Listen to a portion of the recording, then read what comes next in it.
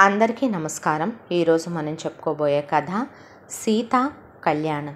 ముగింపు భాగం. కథలోకి వెళ్ళబోయే ముందు మీరు కనుక మన ఛానల్ని ఫస్ట్ టైం చూస్తున్నట్లయితే తప్పకుండా మన ఛానల్ని లైక్ చేయండి షేర్ చేయండి సబ్స్క్రైబ్ చేయండి బెల్ ఐకాన్ క్లిక్ చేసి ఆల్ అనే బటన్ ప్రెస్ చేయడం మర్చిపోకండి. కథని ఎక్కడ స్కిప్ చేయకుండా వినండి. మరి కథలోకి వెళ్ళిపోదామా? దీని మొదటి భాగం ఆల్రెడీ అప్లోడ్ చేసి ఉంది. ఈ కథ చాలా బాగుంటుంది. మనసుకు హత్తుకునేలా ఉంటుంది. మిస్ కాకుండా రెండు పార్ట్లు వినాలని నా మనవి. దీనికి ముందు మనం పెట్టినటువంటి నా భార్య నా ప్రాణం కథ కూడా చాలా బాగుంటుంది. వినకపోతే ఒకసారి విని ఆనందించండి. మీకు నచ్చిన కథలు మీకు నచ్చిన కంటెంట్ని మీ ఫ్రెండ్స్ ఫ్యామిలీ మెంబర్స్తో షేర్ చేసుకుని ఛానల్ని తప్పకుండా సబ్స్క్రైబ్ చేసుకుని ఒక మంచి లైక్ చేసి కమెంట్ పెట్టడం మర్చిపోకండి. మరి కథలోకి వెళ్ళిపోదామా? ఆ తర్వాత సీత అక్కడి నుంచి ఫోన్ చేసి అలా చెప్పేసరికి అమూల్య కుప్పకూలిపోయిందమ్మా. దాంతో ఏమైందని మేమంతా కంగారు పడిపోయాం. నేను ఫోన్ అందుకొని ఏమైంది తల్లి అని అడిగితే సీత ఇలా ప్రసాద్ గాడు కనపడకుండా పోయాడని. ఎక్కడికి వెళ్ళాడో ఏంటో తెలియలేదని. ఏదో తాగమనమనిస్తే మైకం కమ్మేసిందని. ఆ తర్వాత అతను కానీ అతని తాలూకా జ్ఞాపకాలు కానీ ఏవి ఆ రూమ్లో లేవని పిచ్చిదానిలాగా ఊరు ఊరంతా వెతుకుతున్నానని వెక్కిళ్ళు పెట్టి ఏడ్చేసింది సీత. దాంతో వెంటనే రాఘవ నేను బయలుదేరి వస్తున్నాను. అని హోటల్ అడ్రస్సు అన్ని డీటెయిల్స్ అడిగి నెక్స్ట్ ఫ్లైట్కి రాఘవ బయలుదేరి బాంబేకి వెళ్ళాడు. అలా వెళ్ళి సీతను కలిస్తే సీత రాఘవని పట్టుకొని ఒక్కసారిగా వెక్కి వెక్కి ఏడ్చింది. అక్కడ ఉన్నటువంటి సీసీ కెమెరా ఫోటేజుల్ని చెక్ చేస్తే అక్కడ ప్రసాద్ రూమ్లో నుంచి బయటికి రావటం. ఆ తర్వాత లగేజీ అంతా తీసుకుని ఒక క్యాబ్లోకి ఎక్కించుకొని ఆ క్యాబ్లో నుండి వెళ్ళటం కనిపించింది. ఆ కార్ నెంబర్ని పట్టుకొని వెతుక్కుంటూ వెళ్తే ఎయిర్పోర్ట్ దగ్గర దిగాడని తెలిసిందే. ఎయిర్పోర్ట్లో నేను నాకు ఇక్కడ తెలిసిన చాలామంది ద్వారా పలుకుబడిని ఉపయోగించి ప్రసాద్ అనే పేరుతో ఎవడైనా ఎక్కడికైనా ట్రావెల్ చేశాడా అంటే అక్కడి నుండి లండన్కి వెళ్ళినట్టు టికెట్ బుక్ అయిందని చెప్పారు. దాంతో ముందు రాఘవ సీతని తీసుకొని ఇంటికి తీసుకొచ్చాడు. సీత మనిషి మనిషిలా లేదో. పచ్చి మంచినీళ్ళు ముట్టుకోక అప్పటికి నాలుగు రోజులు కళ్ళు తిరిగి పడిపోయింది ఇక్కడికి తీసుకురాగానే. డాక్టర్ని పిలిపించి సెలైన్లు పెట్టించి వచ్చాం సీత శారీరకంగానే కాదు మానసికంగా కూడా చాలా వీక్గా ఉందని జాగ్రత్తగా చూసుకోమని ఫ్యామిలీ డాక్టర్ చెప్పి వెళ్ళాడు.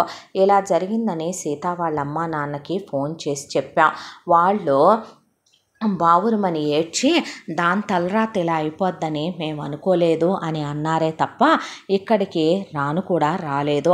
మీరే పెళ్ళి చేశారు కాబట్టి మంచో చెడో మీరే చూసుకోండి అనేసి అవతల ఇద్దరు ఆడపిల్లల పెళ్ళిళ్ళు అయి ఉన్నాయి మా ఇంట్లో. ఇప్పుడు ఇలా బతుకు చెడ్డ ఆడపిల్లని తీసుకెళ్ళి ఇంట్లో పెట్టుకుంటే నలుగురు నాలుగు మాటలు అంటారు అన్నారు. సరేలేమ్మనమని చెప్పి ముందు అసలు ఏం జరిగిందో కనుక్కోవాలి కదా అని రాఘవ నేను వెళతాను నాన్న అబ్రాడ్కి అన్నాడు. అంటే నేను వస్తాను అంది సీత. వద్దు సీత నీ హెల్త్ కండిషన్ బాగాలేదు నేను వెళతానని రాఘవ వెళ్ళాడమ్మా. వెళ్ళి పిచ్చోళ్ళాగా నెల రోజుల పాటు వాడు అక్కడ అన్ని వివరాలు కనుక్కుందామని వెతికి వెతికి వెతికి వెతికి వెతికి అలిసిపోయి విసిగి వేసారిపోయే నెల రోజుల తర్వాత తిరిగొచ్చాడు. ఏమైందిరా అని మేము అడిగితే దేశం కాని దేశంలో లండన్ అంటే ఏమైనా చిన్నదా? పెద్ద మహానగరాలవే. మనం ఎక్కడో ఇండియా నుంచి వెళ్ళి ఇంటింటి తలుపు కొట్టలేం కదా? వెళ్ళిన వాడి ఆచూకే. అక్కడి వరకు వెళ్ళాడని తెలిసిందే తప్ప అక్కడి నుంచి ఎక్కడికి వెళ్ళాడు అన్నది ఆచూకీ తెలియలేదు. పబ్లిక్ ప్లేసెస్ అన్నిట్లోకి కూడా రాఘవ తిరిగొచ్చిన ఎక్కడ వాడు ఆచూకీ లేదు. దాంతో రాఘవ ఒకే ఒక్క మాట చెప్పాడు. ఓపెన్గా చెప్పాలంటే వాడు మోసం చేశాడు నాన్న. ద్రోహం చేశాడు. సీతని వాడు అన్యాయం చేసి వదిలేసి ఎక్కడికో వెళ్ళిపోయాడు అని. అయితే అమూల్యకి ఆ మాట వినగానే పట్టరానంత కోపం వచ్చే కన్నీళ్ళు ఉబికి ఉబికి వచ్చాయి. దాంతో సీత దగ్గరికి వెళ్ళి ఎందుకు తల్లి ఏడుస్తావో? ఆ దరిద్రుడు ఆ దుర్మార్గుడు ప్రేమ అనే పేరుతో నిన్ను వాడుకుని వదిలేద్దాం అనుకున్నట్టున్నాడు. నువ్వు అలా లొంగకపోయేసరికి వాడు పెళ్ళనే పేరుతో పెళ్ళి చేసుకున్నాడు. ఆ శోభనం కాస్త కుదరలేదు లేట్ అయింది ఆ తర్వాత వాడికి పోయే కాలం వచ్చిందో ఆ దరిద్రుడు అన్యాయంగా నిన్ను మోసం చేసి వాడి దారి వాడు చూసుకున్నాడమ్మా. ఇంకా ఎందుకు నువ్వు ఆ కాలి మెట్టెలో ఆ మెళ్ళో మంగళసూత్రం ఇంకా ఆ నొసట్లో కుంకం బరువుగా అనిపించట్లేదా? తెంచవతల పడే నువ్వు మెచ్చినవాడు నీకు నచ్చినవాడు ఈసారి అన్ని విధాలా కరెక్ట్ అయిన వాడిని చూసి నేను నీ పెళ్ళి చేస్తాను అంటే సీత ఒక్కసారిగా కుప్పకూలిపోయింది. రాఘవకి మనసు మనసులో లేదు. డాక్టర్ దగ్గరికి తీసుకెళ్తే సీత చాలా వీక్గా ఉందని సీతని చాలా జాగ్రత్తగా చూసుకోమని సీత మనసు బాధపడే విధంగా ఏమీ మీరు ఆమె ముందు గట్టి గట్టిగా మాట్లాడటం కానీ ఆమెకి ఇష్టం లేని వాటిని మీరు చెప్పటం కానీ చెయ్యొద్దు అని పదే పదే చెప్పి పంపారు డాక్టర్లో. ఇంటికి వచ్చిన తర్వాత రాఘవ మమ్మల్ని పట్టుకొని వెక్కి వెక్కి ఏడ్చాడు. ఇదంతా జరగటానికి కారణం ప్రత్యక్షంగా పరోక్షంగా రెండు మనమే కదా నాన్న. ముఖ్యంగా నేనే కదో. ఏ అన్యం పుణ్యం ఎరగని సీత చదువుకోవటానికి ఇక్కడికి రావడం ఏంటి? నీకు నువ్వుగా ఏదైనా మ్యాట్రిమోనీలో ఇచ్చినా మన బంధువులు చుట్టాల్లో వెతికినా లేదు నీ స్నేహితుల కొడుకులు చాలామంది ఉన్నారు వాళ్ళల్లో ఒకళ్ళకి ఇచ్చి చేసిన సీత బతుకు బాగుండేదే అలా కాకపోయినా వాళ్ళ పిల్లని వాళ్ళకే చదువైపోగానే పంపినా సీతని కళ్ళ ముందు ఉండే సంబంధం ఏ వ్యవసాయం చేసుకొని నెలకొక లక్ష రూపాయలు సంపాదించుకునే సాఫ్ట్వేర్ ఇంజనీర్కి వాళ్ళ అమ్మా నాన్న ఇచ్చి చేసిన సీత లైఫ్ హ్యాపీగా ఉండేదే. ఇప్పుడు వాడు ఉన్నాడో తెలియదు పోయాడో తెలియదు ఎక్కడున్నాడో తెలియదు ఎందుకు వెళ్ళిపోయాడో తెలియదు అసలు ఏం జరిగిందో ఏమీ తెలియట్లేదు. నువ్వు వాడి ఫ్యామిలీ గురించి ఎంక్వైరీ చేయమన్నాను. చేశావా నాన్న? అని అడిగాడు రాఘవ. నువ్వు వెళ్ళిన క్షణం నుంచి నాన్న నా ఇన్ఫ్లుయెన్స్ అంతా వాడి వాళ్ళ ఇంటి దగ్గరికి వెళ్తే ఇల్లు ఆల్రెడీ అమ్మేశారని రాత్రికి రాత్రే వాళ్ళ ఫ్యామిలీ మొత్తం వెళ్ళిపోయారని ఆ ఇల్లు కొనుక్కున్న వాళ్ళు చెప్పారు. వాళ్ళ బంధువులు చుట్టాలని విచారించాం.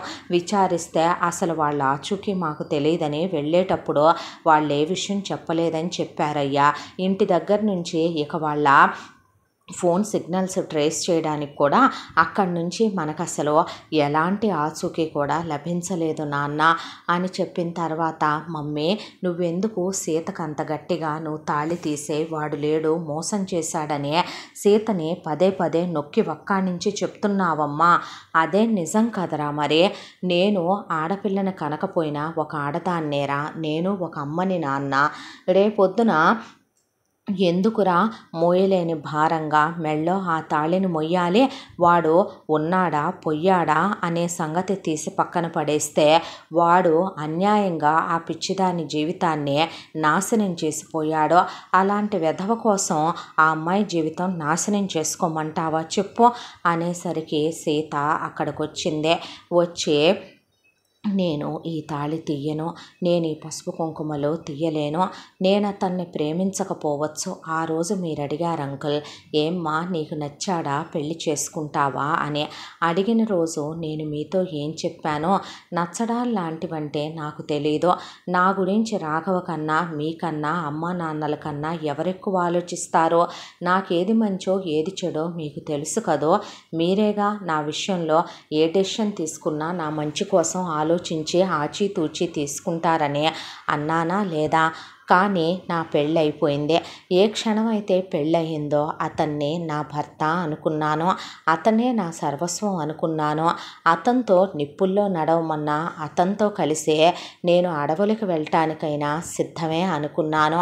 అలాంటిది నా జీవితంలో ఇప్పుడు ఏం జరిగిందో నాకు అర్థం కావటం లేదో అసలు ఇదంతా ఒక కలలా కథలా అనిపిస్తోంది నాకు. కానీ అతను చనిపోలేదనేది నా నమ్మకం. బహుశా ఏదైనా ప్రాబ్లంలో ఉండుండొచ్చేమో లేదా ఏదైనా చెప్పుకోలేని సిచ్యువేషన్లో ఉండొచ్చేమో నా కోసం ప్రసాద్ తిరిగి వస్తాడేమో ఆంటీ. నేనెందుకు అతను మోసం చేశాడనుకోవాలి? పెళ్ళంటే నమ్మకం కదో? ప్రేమ అంటే నమ్మకం కదో? నేను అతన్ని నమ్ముతున్నాను. బహుశా అతను ఏదో ఒక రోజుకి నా కోసం తిరిగి రావచ్చు. వస్తాడు అని నా మనసు నాకు చెప్పు చెప్తోంది. అలా అతను వచ్చేంత వరకు నేను ఎదురు చూస్తాను. దయచేసి నన్ను తాళి తీసేయమని నన్ను విధవలా ఉండమనమని మీరు చెప్పొద్దు. నేను అతను కట్టిన తాళికి నా ప్రశ్నలకి ఏ సమాధానాలు దొరకకుండా నేను ఎవరిని ఇంకో పెళ్ళి చేసుకోవటం అనేది జరగని మాట. నాకు పెళ్ళి అయిపోయిందా అంటే మీరేగా కన్యాదానం చేసి అప్పగింతలిచ్చి నన్ను అతని చేతిలో పెట్టారో? పిచ్చా ఆంటీ మళ్ళీ ఎందుకు అలా ఆలోచిస్తావు నువ్వు? అనే పాటికి అమూల్యకి దుఃఖం ఆగలేదు. తప్పు చేశామని క్షమించమన్నాడు రాఘవ సీతని పిచ్చి మాటలు మాట్లాడుకో. ఏ అంత పెద్దోడి అయిపోయావా పెద్ద మాటలు మాట్లాడుతున్నావు అనేసిందే. అసలు నాకేం మాట్లాడాలో అర్థం కాలేదు. ఇక్కడే ఉంటే ఆ అమ్మాయికి మనసు ఇంకా పాడవుతుంది. ఎక్కడికైనా ప్రశాంతమైన వాతావరణానికి తీసుకెళ్ళమని సైకియాట్రిస్ట్ ఇచ్చిన సజెషన్తో ఎక్కడికో తీసుకెళ్ళడం కన్నా కన్నవాళ్ళ దగ్గరికి తీసుకెళ్తే ఆడపిల్లకి కాస్త ఊరట లభిస్తుంది.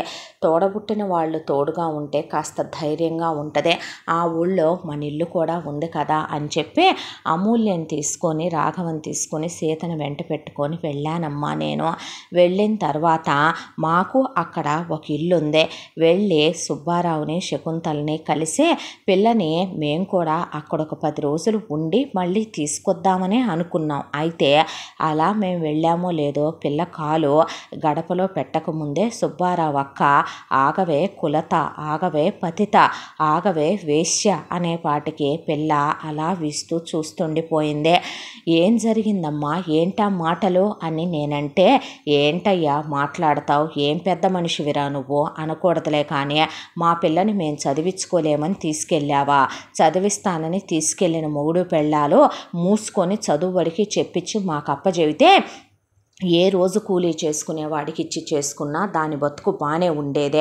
ఇంకేముంది సెటిల్డ్ ఫ్యామిలీ ఇంకేముంది కోట్ల ఆస్తులున్నాయి. పెద్ద ఉద్యోగం చించుతున్నాడు పగలదీస్తున్నాడు అనే నువ్వు పెద్ద పెద్ద మనిషివై నుంచొని నీ పెళ్ళాం పెద్ద పతివ్రతలాగా నీతులు చెప్పి నీ కొడుకు ఈ పత్తిత్తుగాడు.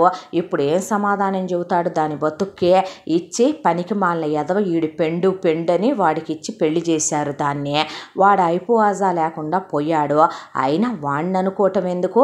ఇదే ఏమో నీ ఇంట్లో అన్నాళ్ళ నుంచి ఉంటుందంటే నీ కొడుకుతోనే కాలు జారిందో నీతోనే కాలు జారిందో ఎవడికి తెలుసు? ఎవడు ఇచ్చాడో? ఆ కాలేజీలకు వెళ్ళి సిటీలో ఎవడెవడమ్మడి తిరిగిందో?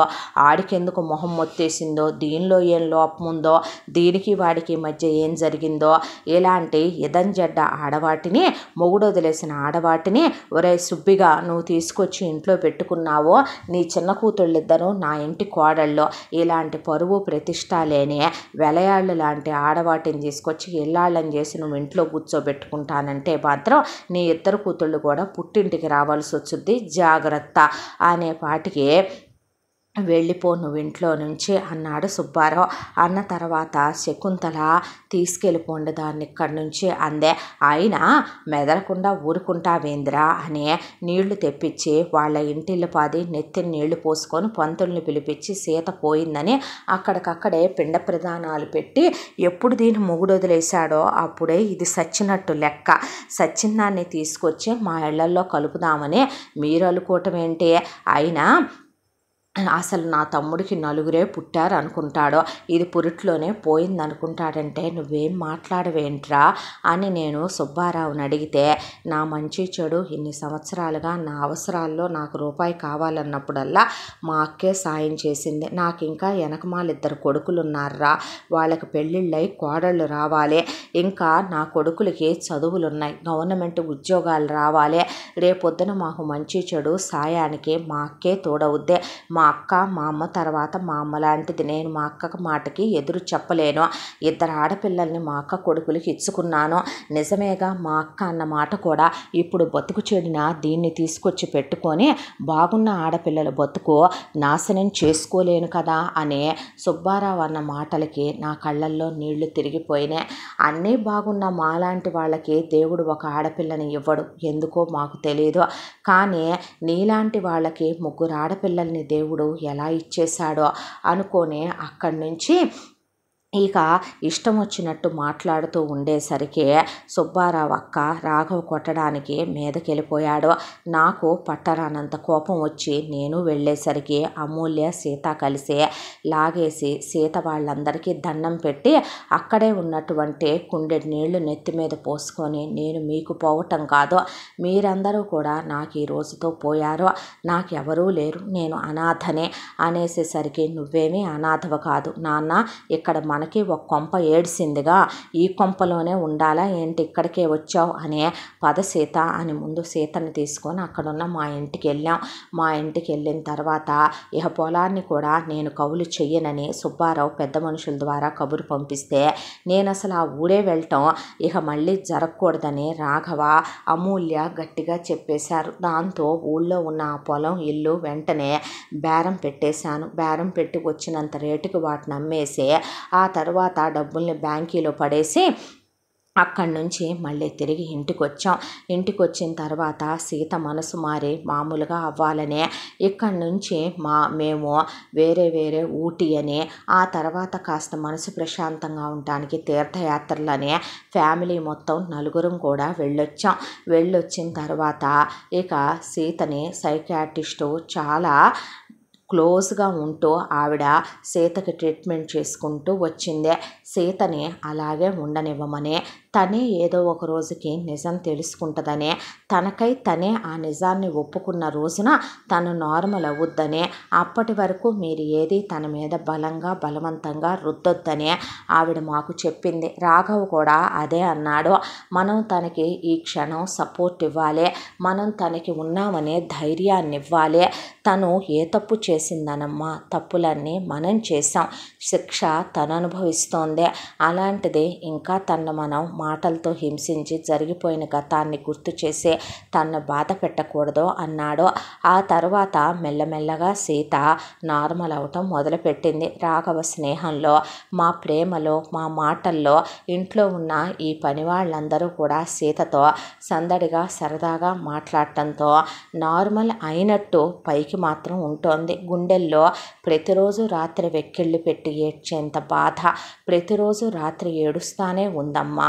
పోయినవాడు ఒక రోజుతో పోయాడేమో కానీ సీత తను విధవో ముత్తైదో వాడున్నాడో పోయాడో వస్తాడో రాడో అలా అని తప్పు చేయలేక అమాయకురాలమ్మ పల్లెటూరులో పుట్టి పెరిగే సంస్కృతులు సాంప్రదాయాలు విలువలు పెద్దలు గౌరవాల మధ్య వాళ్ళ అమ్మమ్మ తాతయ్య పెంచిన పిల్ల సీత అందరిలాగా తెగించే బ్రతకనూ లేదో అందరిలాగా తెగపడే సీత బయటకు వెళ్ళి ఇంకో పెళ్ళి చేసుకొని కాపురం పెట్టి పిల్లల్ని కని తన జీవితాన్ని ముందుకు నడిపించను లేదో కాబట్టే భారమైన బరువైన జీవితాన్ని చావలేక చావురాక నెట్టుకొస్తోంది.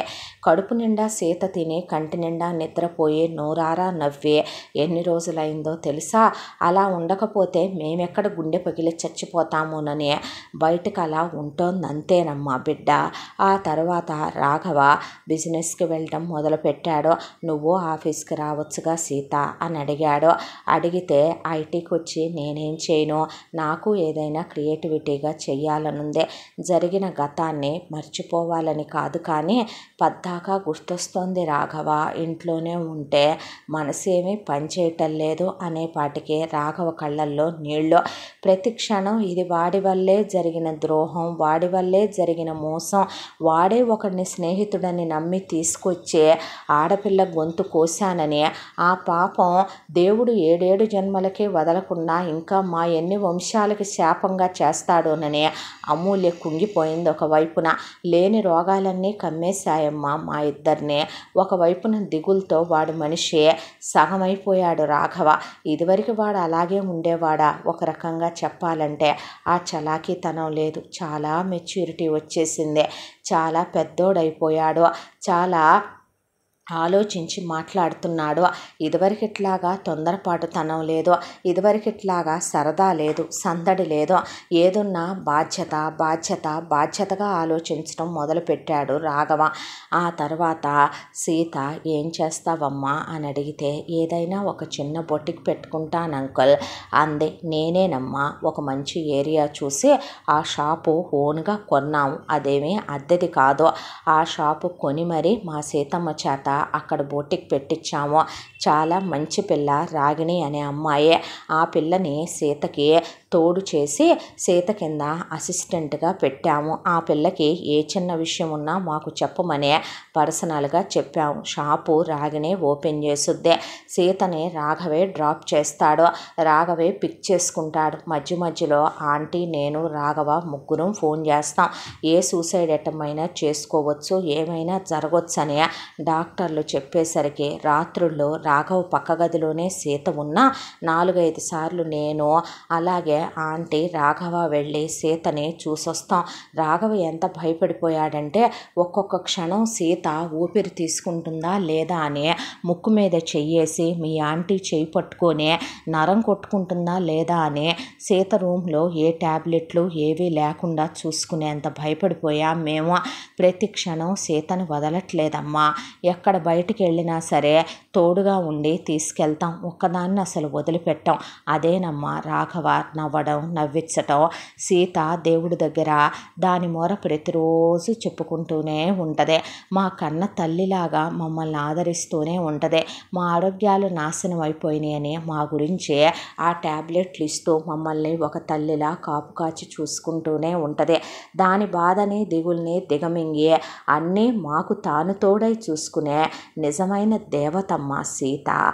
సీతని నువ్వు మరి అలా మాట్లాడొచ్చా? రాఘవని నువ్వు ఉంచుకున్నావా? తగులుకున్నావా? చేసుకున్నావా? తాళి కట్టావా? అది నీకేమవుద్దనే? నువ్వు అలా మాట్లాడొచ్చా? నువ్వు పర్సనల్గా కూడా మా ఇద్దరిని అడగొచ్చు సీత విషయం. రాఘవతో నువ్వు పర్సనల్గా మాట్లాడొచ్చు. అలా నువ్వెందుకు మాట్లాడలేదో? నువ్వు ఒక్కటి గుర్తుపెట్టుకోమ్మా. నువ్వే ఒకవేళ రాఘవని పెళ్ళి చేసుకునేటట్టయితే నీకు సీత నచ్చలేదనుకోమ్మా. రాఘవతో సహా వెళ్ళిపోయి నువ్వు వేరు కాపురం పెట్టుకొని ఉండో. మా ఇంట్లో ఉండమనమని మేమనం. అలా అని సీతను మా ఇంట్లో నుంచి మేము పంపటం కానీ సీత బాధ్యతని మేము వదిలేయటం కానీ జరగని పని. ఈ యావదాస్తే నా పేరు మీదే ఉంది. నేను పెడితేనే అది రాఘవకైనా ఎవరికైనా చెందేది చెల్లేదే. నీకు ఇంకొక విషయం చెప్పమంటావా? రాఘవ నేను అన్ని సంవత్సరాలు రాఘవతో మాట్లాడుతూనే ఉన్నాను కదా. ఎందుకు రాఘవ నాకు సీత గురించి చెప్పలేదు ప్రసాద్ గురించి చెప్పలేదని నువ్వు అనుకోవచ్చు? నిజానికి నీకు ప్రసాద్ తెలిసే ఉండొచ్చుగా. చూశాను అంకుల్ నాలుగైదు సార్లు ఫోన్ చేసినప్పుడు రాఘవ వీడియో కాల్ చేసినప్పుడు బైక్ మీద చూశాను అతన్ని నేను. మరి నీకు ప్రసాద్ తెలుసు?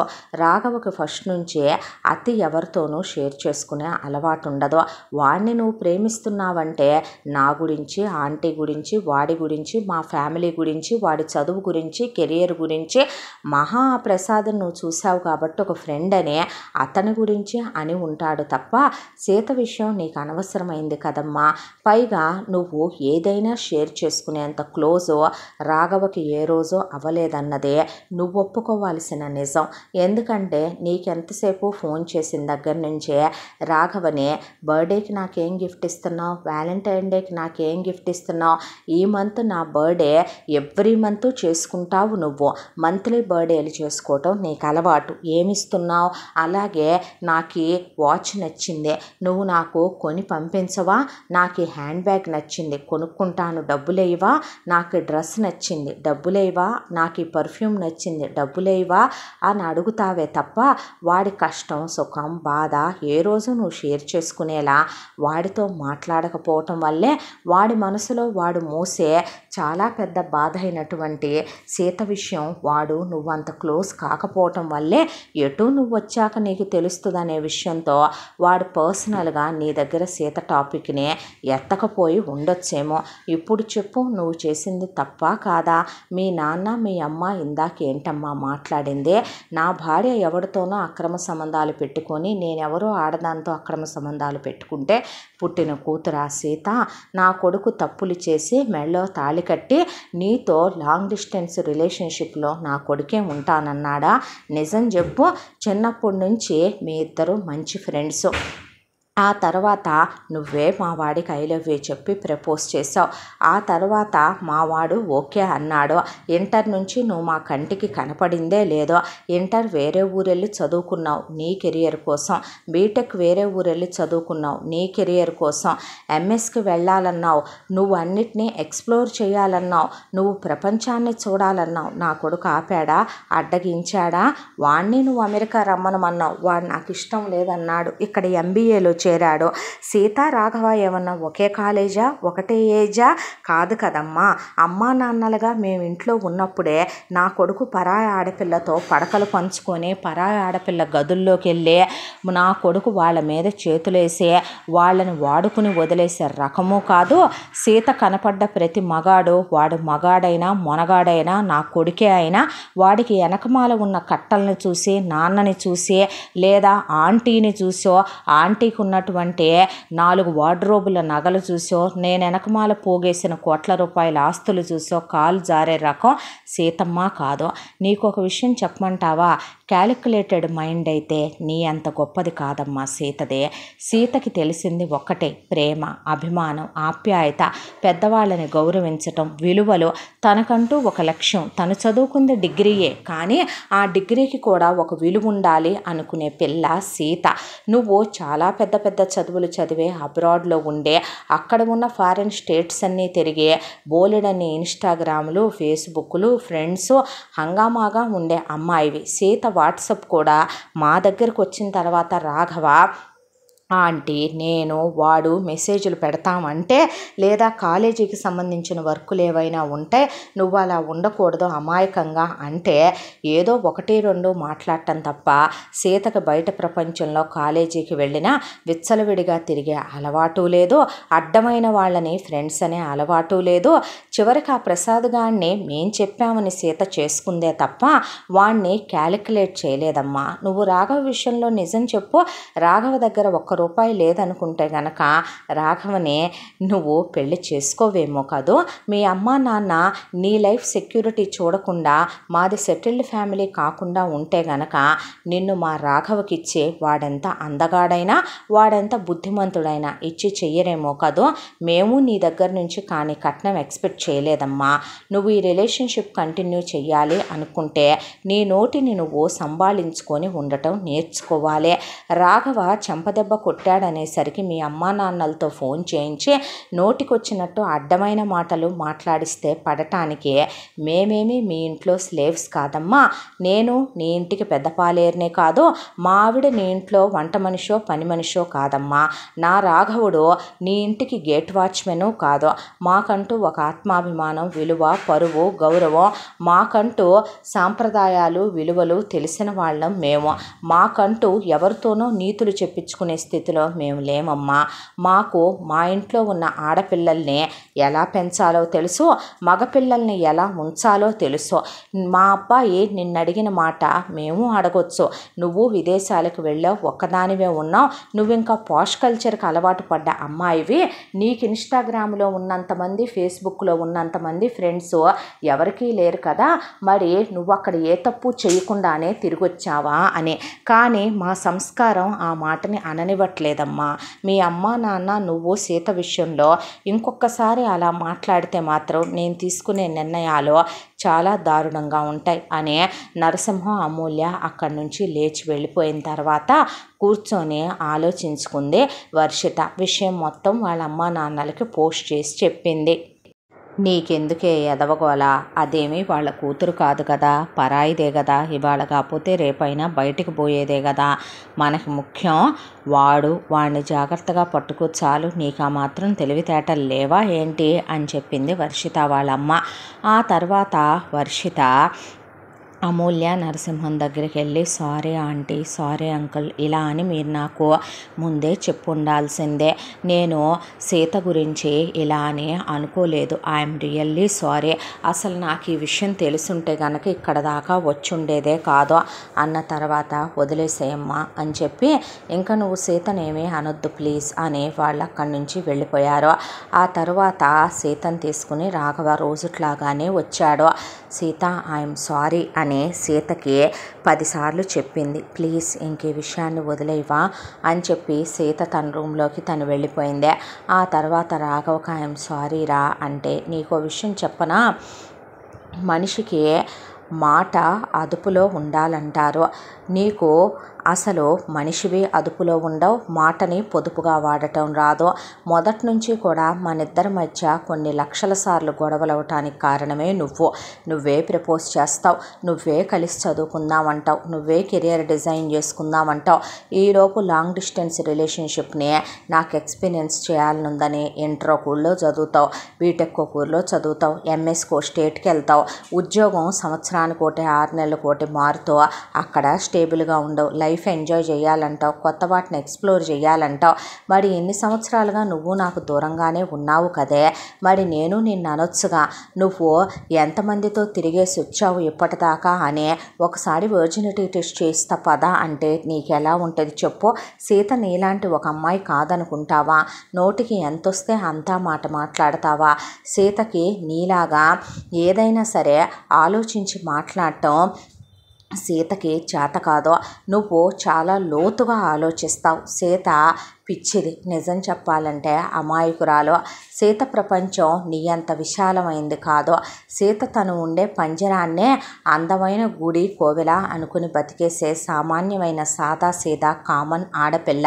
నీలాంటి ఎక్స్ట్రాడినరీ వింతలు విశేషాలు సీతలో ఏమీ ఉండవు. నువ్వు మాట్లాడిన మాటలు నీకే కరెక్ట్ అనిపించాయా చెప్పు అన్నాడు రాఘవ. సారీరా బాబు నీ కాళ్ళు పట్టుకుంటా నీకు దండం పెడతా ఎక్స్క్యూజ్ చేయరా? నువ్వు అసలు చెప్పపోవటం వల్లేగా నాకు ఇవన్నీ వచ్చాయి. నువ్వు నేను అక్కడికి వెళ్ళాక సీత ఇలా వచ్చిందని ప్రసాద్ గారి గురించి ఒకసారి రెండు సార్లు అన్నావు కానీ సీత గురించి చెప్పావా? చెప్పు వాడినైనా చూపించావు కానీ సీత గురించి అన్నావా? అసలు నేను ఏ విషయమైనా అనేంత పర్సనల్గా నువ్వెప్పుడు నా మనసుని అర్థం చేసుకున్నావే? ఎప్పుడు నా మనసులో అంత చోటు సంపాదించుకున్నావు? నాలాంటి చాలామంది ఎదవలో బాగా ఎక్కేసి కొట్టుకుంటున్నారు తెలుసా? లాంగ్ డిస్టెన్స్ రిలేషన్షిప్లని ఇక టెన్త్ క్లాసులకు వస్తే గర్ల్ ఫ్రెండ్స్ ఉండాలని ఇంకేముంది మూతి మీద మీసం మొలవంగానే అలా తోకలు వచ్చేస్తాయి ఎదవలకి వచ్చి రాగానే ఇంకేముంది కాస్త అందంగా ఎర్రగా బుర్రగా ఉండేసరికి ఇంకేముంది అసలు భూమి మీద ఒక ఆడది మన కోసం పుట్టిందంటే కాస్త నాలుగు మాటలు పులిహార కలుపుతూ నీలాగా మాట్లాడే ఏదో ఇక ఆ సినిమాల్లో ఈ సినిమాల్లో చూసిన ఎఫెక్ట్లు కదా హీరోయిన్ లాగా ఐసైట్లు మ్యాచ్ అయిపోవటం ఇంకేముందని మీరు కళ్ళతో మెస్మరైజింగ్ లుక్స్ ఇవ్వటం ఇంకేముందని చెప్పి స్మైల్స్ ఇవ్వటం ఇంకేముందని మీరు బండెక్కంగానే టచ్లు ఫీల్ అవ్వటం ఇలాంటివన్నీ పొయ్యే కాలాలు వచ్చి నాలాంటి ఎదవలందరూ పనికి మాలిన సన్నాసులందరూ వాళ్ళకి ఏది కరెక్ట్ అనేది కూడా ఆలోచించుకోకుండా ఏది దొరికితే అదే అన్నట్టు సెలెక్ట్ చేసుకొని బతికేయాల్సి వస్తుంది ఎదవ బతుకులు అని అక్కడి నుంచి వెళ్ళిపోయాడు రాఘవ. ఆ తర్వాత సీతకి వంద సార్లు సారీ చెప్పింది వర్షిత ప్లీజ్ ఇంక ఈ విషయం వదిలేవా నువ్వు? అనేసి సీత అక్కడి నుంచి వెళ్ళిపోతే రాఘవ ఎందుకే బ్రెయిన్లు తింటావో మనశ్శాంతిగా ఉండనివ్వవా మనుషుల్ని అనేసరికి పెళ్ళి చేసుకుందాంరా అంటే ఇక అది అయిపోయింది ఇది మొదలు పెట్టావా అనేలోపు అదిగో మమ్మీ డాడీ వచ్చారు రమ్మనమని చెప్పాను అన్న తర్వాత వాళ్ళ అమ్మ నాన్న వచ్చారు. వచ్చే అమూల్య నరసింహంతో మేము అమ్మాయి అబ్బాయి జాతకాలు చూపించాము బ్రహ్మాండంగా కుదిరినాయంట అయినా మీరు సీత గురించి చెప్పుకుండాల్సింది కదా ఏదో చిన్నపిల్ల. తెలియక చిన్నతనం తొందరపడి మాట అందను కొమ్మ సీత మనసులో పెట్టుకోకు నీ సొంత చెల్లె అంటే పట్టించుకుంటావా? నేను నీ తల్లి లాంటి దాన్ని కాదా? తప్పుగా తీసుకోబాకమ్మా. మనసులో ఏమీ పెట్టుకోని అనమమ్మా మేము. అయినా అసలు మీరు కదో? అలాంటి పనికిమాలిన ఎదవ గురించి వెనక ముందు ఆలోచించుకోకుండా పిల్లనిచ్చి చేసి పిల్ల గొంతు కోసారో ఆ పాపం మీకేనండి. మీరు అవునన్నా కాదన్నా కూడా. అదే ఇక్కడే శుభ్రంగా ఏ పెద్ద ఉద్యోగం చేసుకునేవాడికో ఇచ్చి చేస్తే పిల్ల కళ్ళెదురుగా ఉండేది. ఈ పాటికి దాని కడుపున కాయగా కాసేది పిల్ల జీవితం సంతోషంగా ఉండేదే. నాకే ఇంకో కూతురుంటే నేను సీత బతుకులాగా అయిపోనిచ్చేదాన్న ఏంటి? అయ్యో అయ్యో మా చుట్టాల్లో మగపిల్లలు కూడా ఎవరూ లేరు. ప్రతి అదవకి పెళ్ళిళ్ళు అయిపోయి సచ్చినాయి లేదంటే గనక ఆ సీతను ఎవడో ఒకడికి ఇచ్చి చేసి సీత జీవితానికి ఓ మంచి దారి చూపించేవాళ్ళం. అయ్యో అయ్యో అని మొత్తానికి దోశలు తిప్పేశారు కూర్చొని. ఏం మాట్లాడాలో అర్థం కాక వాళ్ళు మెదలకుండా కూర్చుంటే వీళ్ళకి ఎంగేజ్మెంటు చేసేయాలని చెప్పి మా పండితుడు చెప్పాడండి. అన్న తర్వాత రాఘవ ఏమనుకుంటున్నావు నువ్వు? అని అడిగారు అమూల్య నరసింహం. అడిగితే రాఘవ నాకు ఇప్పుడే ఈ పెళ్ళి గురించి వీటి గురించి ఏమీ ఆలోచించాలని లేదు నాన్న. నాకు టైం కావాలి. ముందు నువ్వు ఒక వన్ ఇయర్ పాటు కెరీర్ మీద ఫోకస్ చేయవే నువ్వు వర్షిత. ఆ తర్వాత చూసుకోవచ్చు మిగతా విషయాలు అన్నాడు రాఘవ. పెళ్ళేం ఇప్పుడే కాదు బాబు. నిశ్చితార్థం అంటే మాకంటూ కొన్ని ఆనవాయితీలు ఉన్నాయి మాకంటూ కొన్ని సాంప్రదాయాలు ఉన్నాయి మీరు మా అమ్మాయికి ఓ గోల్డ్ సెట్టు ఓ డైమండ్ సెట్టు పెట్టాలి వదిన గారు అలాగే ఎంగేజ్మెంట్ ఖర్చు మీదే. మా వైపు నుంచి చుట్టాలు వస్తారు భోజనాలు బట్టలో పెట్టాలి. అయితే అబ్బాయికి ఉంగరం తీసుకునే ఆనవాయితీ మాకు లేదు. అమ్మాయికి మీరు ఉంగరం తీసుకోవాలి అమ్మాయికి మీరు బట్టలు తీసుకోవాలి.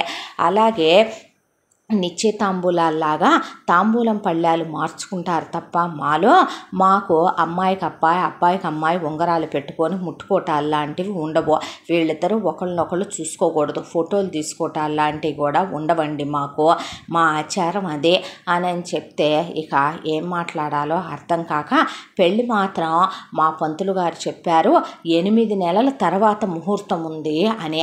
అప్పుడు చూసుకుందాం పెళ్ళి గురించే అని చెప్పారు వర్షిత వాళ్ళ అమ్మా నాన్న రాఘవ వైపు చూస్తే రాఘవ ఏమీ మాట్లాడకుండా అక్కడి నుంచి లోపలికి వెళ్ళిపోయాడు. వెళ్ళిపోయిన తర్వాత సరే కానివ్వండి అని అమూల్య నరసింహ మీరు మీ పంతులు గారినే పిలిపించుకోండి అంటే భలే వాళ్ళే అవునన్నా కాదన్నా మేము అలాగే పిలిపించుకుంటామని.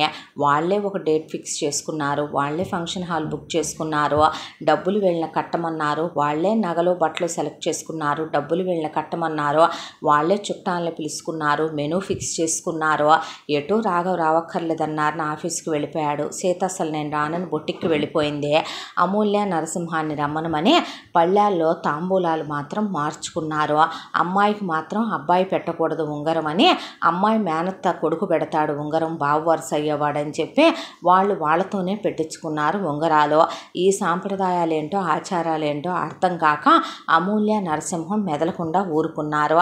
అయిపోయిన తర్వాత ఇక మేము వెళుతున్నాం మరని అక్కడ మిగిలిపోయిన కూరల దగ్గర నుంచి స్వీట్ల దాకా అన్నీ తీసుకొని పెట్టిన నగల సెట్లు తీసుకొని ముందు వర్షిత వాళ్ళ అమ్మ నాన్న చుట్టాలు బంధువులు బయలుదేరిపోయాక వర్షిత ఇంటికి వచ్చిందే ఇంటికి వచ్చిన తర్వాత మళ్ళీ బ్యాచిలర్ లైఫ్ ఎంజాయ్ చేయగలనో లేదో వచ్చిన మా కజిన్స్ చుట్టాలు ఫ్రెండ్స్ అందరూ కలిసి ఇక్కడ బ్యాచిలర్ లైఫ్ ఎంజాయ్ చేద్దాం అంటున్నారు. నేను ఒక మూడు నాలుగు నెలలు ఊరెళ్ళిరానా? పెళ్ళికి ఎటు? ఎనిమిది నెలలు టైం ఉందిగా? అమ్మా నాన్నతో మా వాళ్ళందరితో స్పెండ్ చేసినట్టుంటదే? అని అడిగింది వర్షిత. వెళ్తావా? వెళ్ళు అని ఒక్క నిమిషం కూడా లేట్ చేయలేదు రాఘవ. పెళ్ళి విషయంలో మౌనంగా ఉన్న కొడుకు వర్షిత వెళ్ళిపోతానన్నప్పుడు ఐదు నిమిషాలు లేట్ చేయకుండా పంపించటాన్ని ఆశ్చర్యంగానే కాదు. ఎన్నో ప్రశ్నలు సమాధానాలు లేకుండా మిగిలిపోయినట్టే చూశారు అమూల్య నరసింహం. ఆ తర్వాత వర్షిత అలా వెళ్ళిపోయిందే. ఇల్లు ప్రశాంతంగా ఉందే.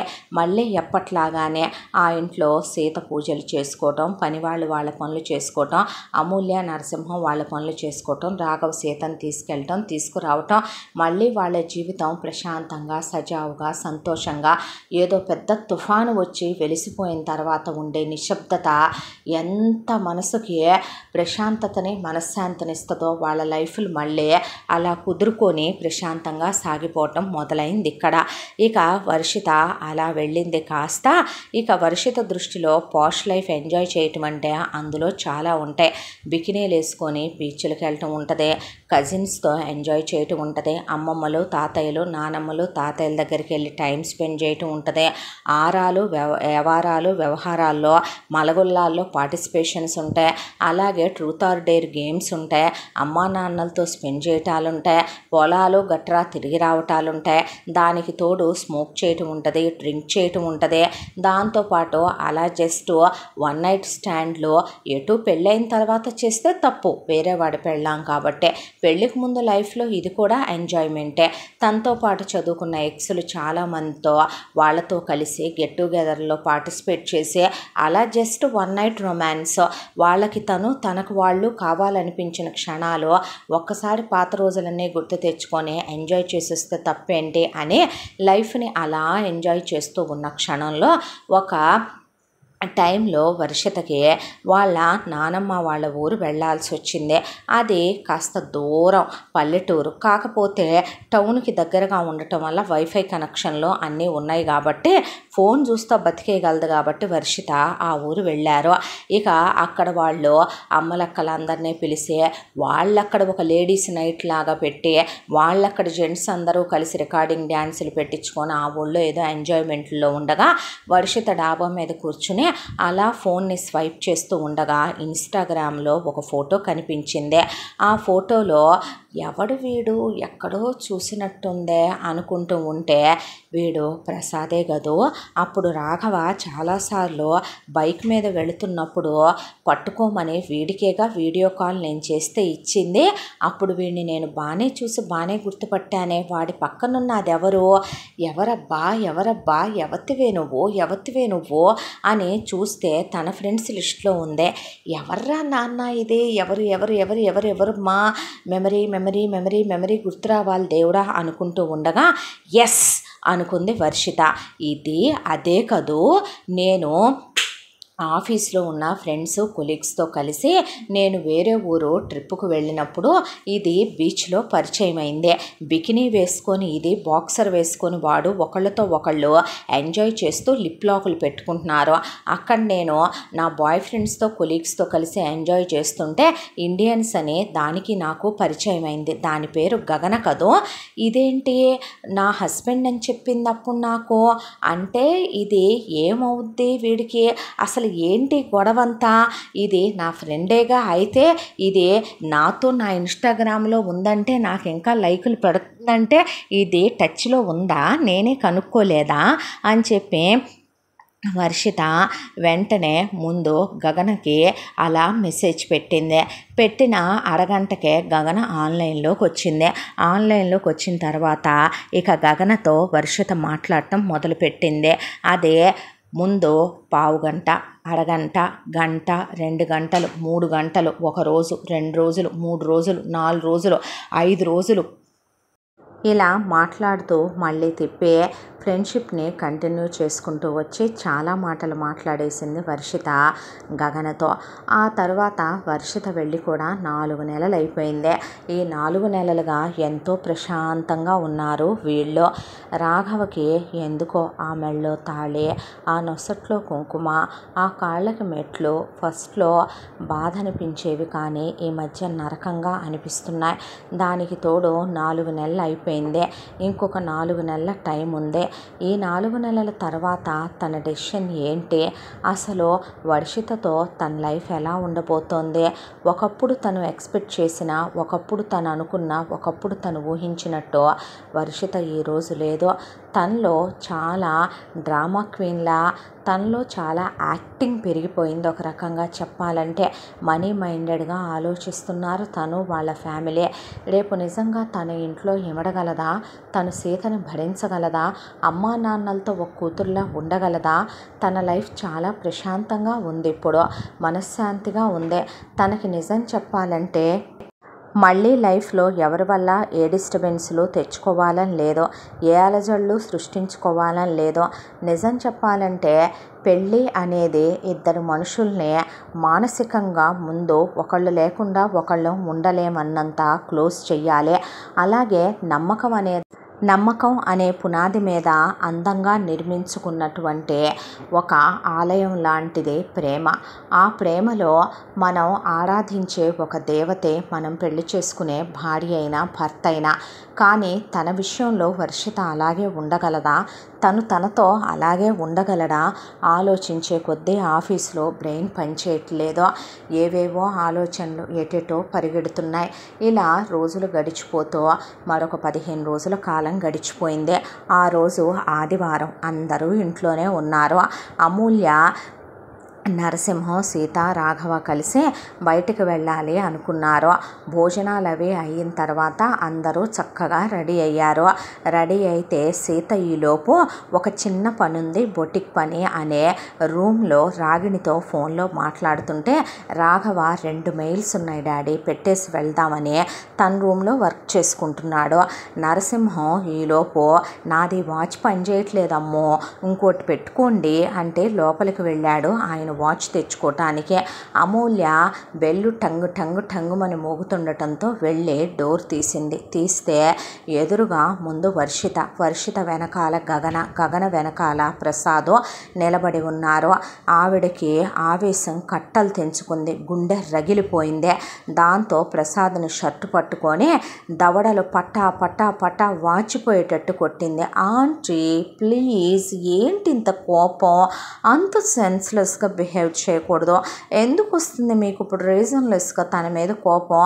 అసలు ఏం జరిగిందో తెలుసుకోకుండా ఏంటిదంతా అనే పాటికి ఎందుకు వచ్చావురా నువ్వు? ఏం చేద్దామని వచ్చావురా నువ్వు? అని ఆవిడ పెద్ద పెద్దగా అరుస్తూ కేకలు వేస్తుంటే వాచ్ పెట్టుకుంటూ ఆయన నరసింహం బయటకు వచ్చిన మనిషి అలా నిలబడి ఆగిపోయాడు. ఒకవైపున మెట్లు దిగుతున్న రాఘవ మెట్ల మీదే నిలబడిపోతే సీత అనే అప్పుడే నరసింహం పిలుచుకుంటూ వస్తే వస్తున్నాను అంకుల్ అని వచ్చిందల్లా బయట గుమ్మంలో ఉన్న ప్రసాద్ని చూసి ఇక అక్కడ ఉంది ఎవరు? ఏంటనేది కూడా పట్టించుకో పట్టించుకోకుండా రాఘవ గమనిస్తూనే ఉన్నాడలా. సీత చాలా ఫాస్ట్గా మెట్లు దిగుతూ పరిగెత్తుకుంటూ పరిగెత్తుకుంటూ ప్రసాద్ దగ్గరికి వెళ్ళి ప్రసాద్ రెండు భుజాల్ని చేతులతో పొదవి పట్టుకొని ఎక్కడికి వెళ్ళిపోయావు? ఏమైపోయావు? నన్ను ఎందుకు వదిలేసి వెళ్ళావు? ఆ రోజు ఇన్నాళ్ళు ఎక్కడున్నావు అసలు? నాకు తెలుసు నువ్వు తిరిగి వస్తావని. ప్రతిరోజు నేను దేవుడికి పెట్టుకునే దండంలో ఒక దండం నీ గురించి కూడా పెట్టుకొని నువ్వు బాగుండాలని కోరుకుంటున్నాను. ఎక్కడున్నా నువ్వు తిరిగి రావాలని కోరుకుంటున్నాను. ఏమైంది? ఏదైనా హెల్త్ ఇష్యూనా ఫ్యామిలీ ఇష్యూనా ఏదైనా జాబ్ గురించి డిస్టర్బెన్సా ఏం జరిగింది ప్రసాద్ అని అడుగుతూ అలా నుంచుంటే నేను చెప్తాను. నిజం అనే అక్కడున్నటువంటి గగన లోపలికి రావచ్చా అని ప్రసాద్ చేపట్టుకొని లోపలికి వస్తే ఎందుకో తెలియదు రాఘవకి అంతకుముందు ఎప్పుడూ కూడా సీత ప్రసాద్తో మాట్లాడినా సీత ప్రసాద్తో ఏదైనా చెప్పాలనుకున్నా నవ్వుతూ నిలబడ్డా తప్పనిపించింది. ఈరోజు ఎందుకో ప్రసాద్ని అలా నిలదీస్తూ సీత మాట్లాడుతూ నిలబడ్డా కూడా సీత మెళ్ళో ఆ తాళి ఆ నల్లపూసలు ఆ కుంకం ఆ మెట్లు అలా ప్రసాద్ని సీత తాకటం అలా ప్రసాద్ కళ్ళల్లో కళ్ళు పెట్టి చూస్తూ సీత మాట్లాడటం వాడి గురించి సీత కన్నీళ్ళు పెట్టుకోవటం ఎందుకు చాలా పొసెసివ్గా అనిపించింది. రక్తం మడిగిపోతున్నట్టు అనిపించింది. నరాలు తేలిపోతున్నాయి. ఒక్కసారిగా కోపం పెళ్ళుబుకొస్తోంది. కళ్ళు ఎర్రగా మారిపోయినాయి. కళ్ళల్లో నీళ్ళు తిరిగిపోతున్నాయి. ఎందుకు తనదైన దేన్నో పక్కవాడు ఎవడో లాక్కెళ్ళిపోతున్నట్టు తీసుకెళ్ళిపోతున్నట్టు గుండెల్లో ఈ మెలిపెట్టే బాధ ఎవడు అసలు తిరిగి రాకూడదు అనుకున్నవాడు మళ్ళీ తిరిగి వచ్చి తన అనుకునే దాన్ని దేన్నో తన నుంచి లాక్కెళ్ళిపోతాడు అనేలాంటి ఇన్సెక్యూర్ ఫీలింగు రాఘవకి మనసులో ఎన్నో ఆలోచనలు ఆకుండా పరుగులు పెడుతున్నాయి. నరసింహం అలా నిలబడిపోయాడు. ఈలోపు నేను చెప్తాను అన్న గగననే ఎవరు నువ్వు? అని అడిగాడు నరసింహం. నేను మీకు జరిగింది మొత్తం చెప్తాను అని గగన అలా నుంచొని చెప్పటం మొదలుపెట్టింది. మీకు నేనెవరో తెలియాలి అంతే కదా? మీకు జరిగింది జరిగినట్టు చెప్తాను. మా బావ ప్రసాద్ మా అత్తయ్య కొడుకు వీళ్ళమ్మకి మా అమ్మకి అస్సలు పడదు. చిన్నప్పటి నుంచి మా బావ అంటే నాకు ప్రాణం. పెద్ద మనిషి అయిన దగ్గర నుంచే మా బావే ప్రపంచం మా బావే లోకమని మా బావని ప్రేమిస్తున్నాను నేను.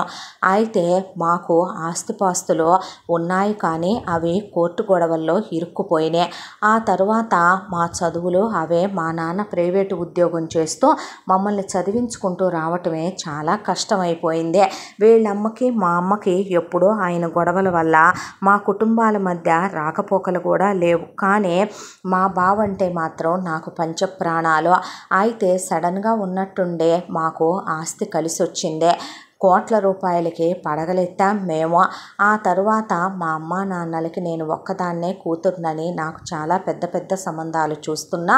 నేను సూసైడ్ అటెంప్ట్ చేసి ప్రసాద భావనే చేసుకుంటాను. నేను ఎవరిని చేసుకోను నాకు బావే కావాలనే వెక్కి వెక్కి ఏడ్చాను నేను. అయితే ఈలోపు మా వాళ్ళు సరే నా ఇష్టం కాదంటవెందుకు? నేను లేకపోతే ఉన్న ఒక్క కూతురు కూడా పోద్ది అనే దాంతో మాట్లాడదామని వచ్చేలోపే మా బావ ఈ సీతని ప్రేమించటం ఆ తర్వాత మీ అందరూ పెద్ద మనుషులుగా నుంచొని ఈ సీతకి మా బావకి పెళ్ళి చేయటం ఈ సీత అక్కడికి రావటం శోభన ముహూర్తాలు కుదరక సీతను మళ్ళీ మీరు తీసుకెళ్ళటం మా బావ అక్కడ ఉండటం జరిగిపోయింది. అయితే మా అమ్మ వాళ్ళు ఇలా వచ్చి రాగానే ఆస్తి కలిసి వచ్చిందని కోట్లకు పడగలెత్తామని అక్కడున్న బంధువులు చుట్టాలు చెప్పేసరికి ఓపెన్గా చెప్పాలి. మా అత్తయ్య అలాగే మా వదిన అంటే ప్రసాద్ వాళ్ళ చెల్లెలు మనీ మైండెడ్ పర్సన్సే. వాళ్ళు కేవలం మాకున్న ఆస్తిపాస్తులతోనే మాకున్న పగల్ని మర్చిపోయారు. మా అమ్మ మా అత్తయ్య ఒకళ్ళకొకళ్ళు సారీ చెప్పుకున్నారు క్లోజ్ అయ్యారు. అయితే అప్పటికే మా బావకి పెళ్ళైపోయిందని. ఇక లేదంటే కనుక నన్ను కోడల్ని చేసుకునేదాన్నని మా అత్తయ్య అందే. అయినా నా మనసులో ఆశ చచ్చిపోలేదు. ఎందుకనంటే సీతకి మా బావకి పెళ్ళయింది తప్ప శోభనం అవ్వలేదు కదా. మా బావేమి సీతను వాడుకుని వదిలేయలేదుగా. ఏ కడుపు కాలో చేయలేదుగా. సీత ఏమీ కాలు జారలేదుగా. కాబట్టి ఒక్కటే నిర్ణయం తీసుకున్నాను.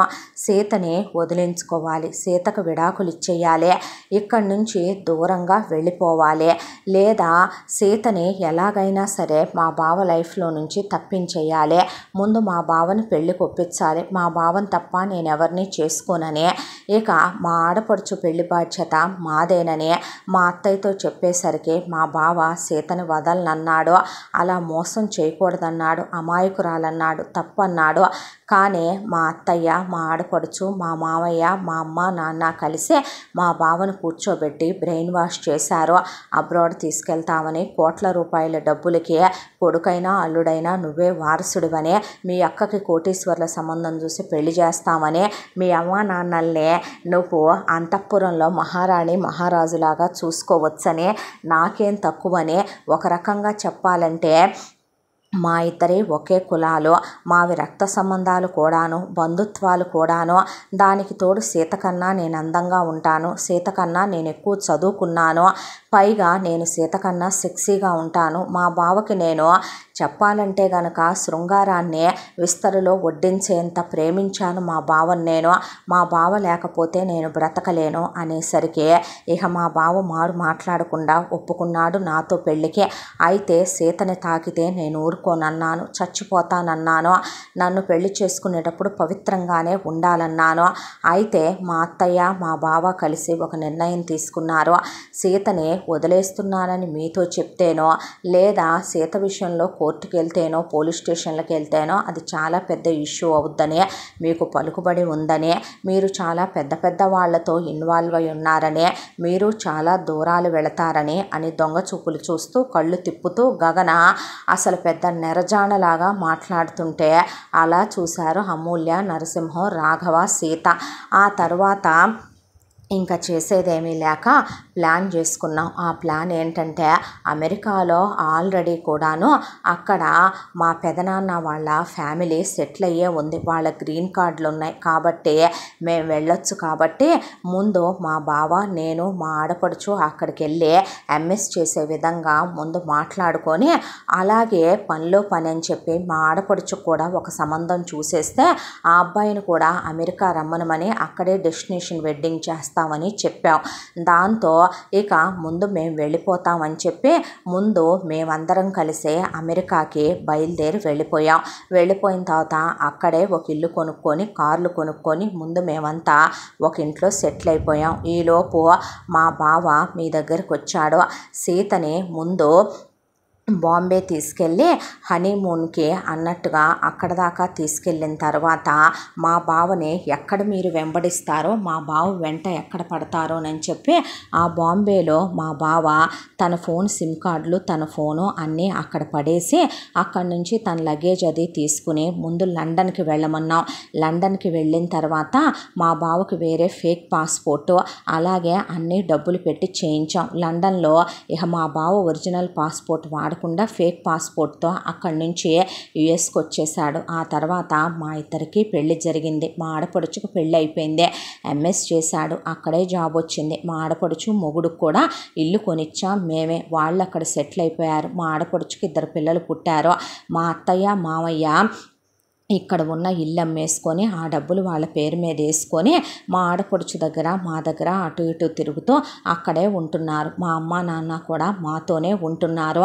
ఈ వర్షిత అనుకోకుండా ఒకసారి మేము వెకేషన్ కని వేరే స్టేట్కి వెళ్తే బీచ్లో మేము వైఫ్ అండ్ హస్బెండ్ ఎంజాయ్ చేస్తుంటే తను అక్కడికి తన కొలీగ్స్తో కలిసి తను అక్కడికి తన బాయ్ ఫ్రెండ్ అంది వర్షిత.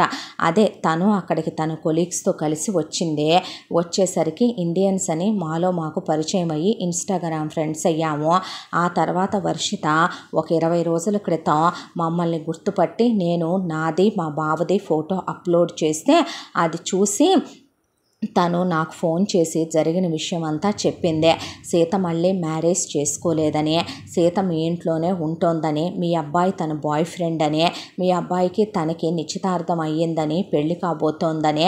ఇక మీరు సీత లైఫ్ గురించి చాలా బాధపడుతున్నారని తను చెప్పిందే. మా అత్తయ్యకి ఫస్ట్లో సీత మీద అసహ్యం ఉండేది కూటికి గతిలేంది అడుక్కు తినేది అని. మా బావే కాళ్ళు గడ్డాలు పట్టుకొని మా అత్తయ్యని ఆ రోజు ఒప్పించాడు. ఆ రోజు మా అత్తయ్య ఒకటి అనుకుంది. కొన్నాళ్ళు వాడుకున్న తర్వాత ఒకటి సీతకి ఇంత సర్టైన్ అమౌంట్ అని మీరు ఇచ్చేటట్టయితేనే సీతనే కాపురం చేయనిస్తాము లేదంటే కనుక పంపించేస్తామని ఒకళ్ళు ఇద్దరూ పుట్టాక చెప్పి మీ ద్వారా కొంత డబ్బు లాగుదాం అనుకుందంట మా అత్తయ్య. అయితే ఇప్పుడు మా అత్తయ్యకి సీత మీద అలాంటి కోపం ఏమీ లేదు. ఆ కోపం లేకపోవటానికి కూడా కారణం నేనే అనేసరికి వీళ్ళందరూ అలా చూశారు. ఎందుకంటే ఒకసారి మేము వెకేషన్కి ట్రిప్ వెళ్ళొస్తూ ఉండగా నేను కార్ డ్రైవ్ చేస్తానని ప్రసాద్ చేతిలో నుంచి స్టీరింగ్ తీసుకొని తాగిన మత్తులో చాలా ఫాస్ట్గా డ్రైవ్ చేసుకుంటూ వస్తే యాక్సిడెంట్ అయింది నాకు. యూట్రస్ రిమూవ్ చేశారు. అబార్ట్ కూడా అయ్యింది నాకు అప్పుడే. అబార్షన్తో పాటు యూట్రస్ రిమూవ్ చేసి నాకు పిల్లలు పుట్టే అవకాశం లేదు కాబట్టి మా అత్తయ్య మామయ్య వాళ్ళు పిల్లలు లేరే నాకని చాలా బాధపడుతున్నారు. మా బావ చాలా దిగులు పడుతున్నాడు. మా బావకి పిల్లలంటే చాలా ఇష్టం. మా నాకు కోట్ల రూపాయల డబ్బు ఉంది ముఖ్యంగా నాకు పిల్లలంటే పిచ్చి డజన్ మంది పిల్లల్ని కనాలనుకున్నాను. కోట్ల కోట్ల రూపాయలు డబ్బులున్నాయి. అనుభవించడానికి పిల్లలే లేరు. కాబట్టి నాకు మళ్ళీ మూడుబారిపోయిన మా ఆశలకి నీళ్ళు పోసినట్టు అయింది వర్షిత ఫోన్ కాలు. ఆలోచించాం. ఇంకా సీత ప్రసాద్కి వైఫ్గానే ఉందంటే ఆ తాళే అలా క్యారీ చేస్తోందంటే సీతని మాతో పాటు అమెరికా తీసుకెళ్ళిపోదామనే వచ్చాం. తీసుకెళ్ళిపోయి మా అత్తయ్యని నేను ఒప్పించే వచ్చాను. మా ఆడపడుచుని ఒప్పించి మా అమ్మ నాన్నల్ని ఒప్పించి వచ్చాను. సీతకి ఇప్పుడు వచ్చిన లోటేమీ లేదు. అక్కడికి వస్తే హ్యాపీగా సీతకి రెండు పూట్ల భోజనం టిఫిన్ ఇస్తాము. ప్రసాద్ ఒంటి మీద చెయ్యేస్తాడు కాపురం చెయ్యొచ్చు. సీత ప్రెగ్నెంట్ అయ్యి నలుగురు ఐదుగురు పిల్లల్ని కనిస్తే ఇక వాళ్ళ మంచి చెడ్డలు సీత చూసుకుంటుంటే వాళ్ళకి అమ్మగా వాళ్ళని చదివించి వాళ్ళ వాళ్ళని ప్రయోజకుల్ని చేసే మా బావ తనతోనూ నాతోనూ ఇద్దరితోనూ కూడా సమానమైన ప్రేమను పంచుతూ ఇద్దరిని ఆదరించగలనన్నాడు. నా బాధని చూడలేక కన్నీళ్ళు తుడిచే సీతని తీసుకొచ్చే తన గర్భవతిని చేసి నా కోసం తనతో శారీరకంగా కలిసే తన అమ్మని చేసే నన్ను తల్లిని చేస్తానన్నాడు కనకపోయినా సరే తన చేత బిడ్డను మోయించి నా ఒడి నింపుతానని చెప్పాడు మా బావ. దాంతోనే సీతకు మళ్ళీ లైఫ్ ఇద్దామని చెప్పి మేము ఇక్కడికి తిరిగి వచ్చామండి అని గగన చెప్పేసరికి అక్కడే నుంచున్న సీత లాగి పెట్టి కొడితే గగనని వెళ్ళి వర్షిత మీద పడింది. ఏయ్ ఏంటిది నువ్వు స్టూపిడిటీగా? నోరు ముయ్యకపోతే చెప్పుతో కొడతా నిన్ను అనే పాటికి వర్షిత అలా నిలబడిపోయింది.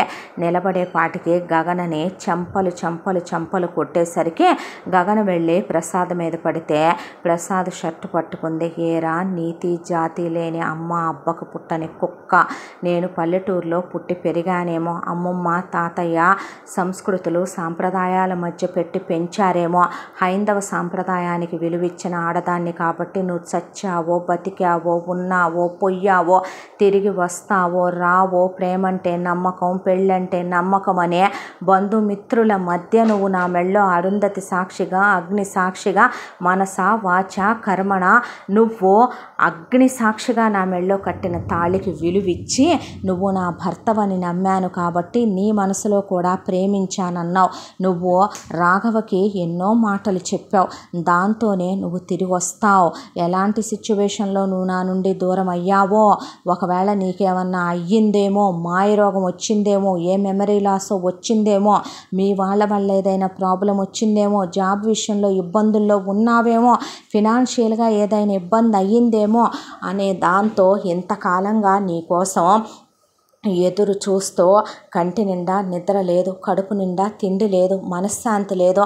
నా వాళ్ళందరికీ నన్ను దూరం చేసేసావు నేను ఈ రోజున వీళ్ళు కూడా లేకపోతే అనాథనైపోయేదాన్ని కదరా. అలా బాంబేలో వదిలేసి వచ్చావు నన్ను. అక్కడ ఎవడైనా నన్ను మోసం చేసి ఏ రెడ్ లైట్ ఏరియాలోనో అమ్మేస్తే లేదా నన్ను ఎవడైనా ఆ మత్తులో ఉండంగా వేరే కీతో ఓపెన్ చేసి నన్ను వాళ్ళు మానభంగం చేస్తే నా బ్రతుకు ఏమైపోయి ఉండేదిరా పైగా నువ్వు నన్ను తాకకుండా పవిత్రంగా ఉండి ఈ పతివ్రత కోసం వెళ్ళావా? నా మెళ్ళో తాళి కట్టి నేను బ్రతికి ఉండగా నేను మానసికంగా శారీరకంగా పర్ఫెక్ట్గా ఉన్నప్పుడు నువ్వు దీన్ని చేసుకున్న ఆ పెళ్ళి ఎలా చెల్లుద్దిరా? అని చెప్పు తీసుకొని పళ్ళు రాలిపోయి నోట్లో నుంచి బ్లడ్ వచ్చిందాకా కొట్టింది సీత. కొట్టేసరికి అప్పుడు దిగొచ్చాడు రాఘవ. దిగొచ్చి ప్రసాద్ను పట్టుకొని ఫ్రెండ్ అనే మాటకి కళంకం రా నువ్వు. నువ్వు భర్త అనే మాటకి కళంకం ప్రేమికుడు అనే మాటకి కళంకం. ఎంత మోసం చేశావురా అమాయకురాలైన ఒక ఆడపిల్లనే. ప్రాణంలా చూసుకుంటానన్నావు ప్రేమిస్తున్నానన్నావు ఆరాధిస్తున్నానన్నావు దేవతలా చూసుకుంటానన్నావు అమాయకురాలన్నావు నాకు నచ్చిందన్నావు కష్టం కలగనివ్వనన్నావు కన్నీళ్ళు రానివ్వనన్నావు దిక్కులేని దాన్ని చేసి చివరికి హోటల్ రూమ్లో వదిలేసి వెళ్ళిపోతావంట్రా నీతి మాలిన కుక్క. కుక్క అనే రాఘవ కొడుతుంటే ఏదిరా ఫ్రెండ్షిప్? నేను తినే దాంట్లో పెట్టాను నీకు. నీ బతుక్కి గతి లేదంటే ఎన్నోసార్లు పాకెట్ మనీలు ఇచ్చాను కదరా కుక్క. అంటే ఏ ఏంటలా చేయి చేసుకుంటావు నువ్వు? అయినా వాళ్ళు లైఫ్ ఇస్తామంటుంటే నువ్వేంట్రా? అనే పాటికి వర్షితనే చంపలు చంపలు చంపలు చంపలు వాయించే పాటికి పది దెబ్బల దాకా తట్టుకొని ఆ తరువాత ఇక కూర్చుండిపోయింది కింద ఒక మూలక వరుచుత దండం పెట్టి దెబ్బలు తట్టుకోలేక మా బావనే కొడతావా? అనే పాటికి గగన దవడలు కూడా పగలగొట్టాడు రాఘవ. ఈలోపు నరసింహం పోలీసులకు ఫోన్ చేస్తే పోలీసులు వచ్చి ప్రసాద్ని గగనని అదుపులోకి తీసుకుంటే అదేంటి అంకుల్ వాళ్ళు లైఫ్ ఇస్తామని చెప్తే అలా కేసులు పెట్టించి లోపల పెట్టించడం ఏంటి? నన్ను నమ్మి వచ్చారు వాళ్ళు. దీన్ని కూడా తీసుకెళ్ళమని చెప్పు నాన్న నువ్వు.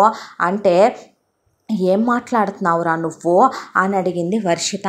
నిజమే మాట్లాడుతున్నాను. ఏంటే నువ్వు వాగేదే? ఏ వాళ్ళు ఏమన్నారంట ఇప్పుడు? ఏం జరిగిపోయిందంట? అంతోటిదే. ఇప్పుడు నువ్వు ఎందుకు ఈ కేసులు పెట్టించడం? ఇవన్నీ సీత.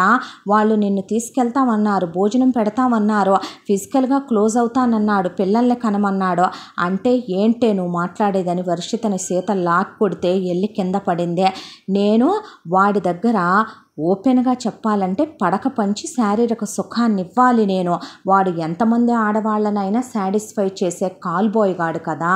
నేను పిల్లల్ని మోసి కంటే దాని ఒడి వాడు నింపుతాడు అమ్మనే పదవి దానికి ఇస్తాడు నేను వాళ్ళకి ఆయాగా పని చెయ్యాలి.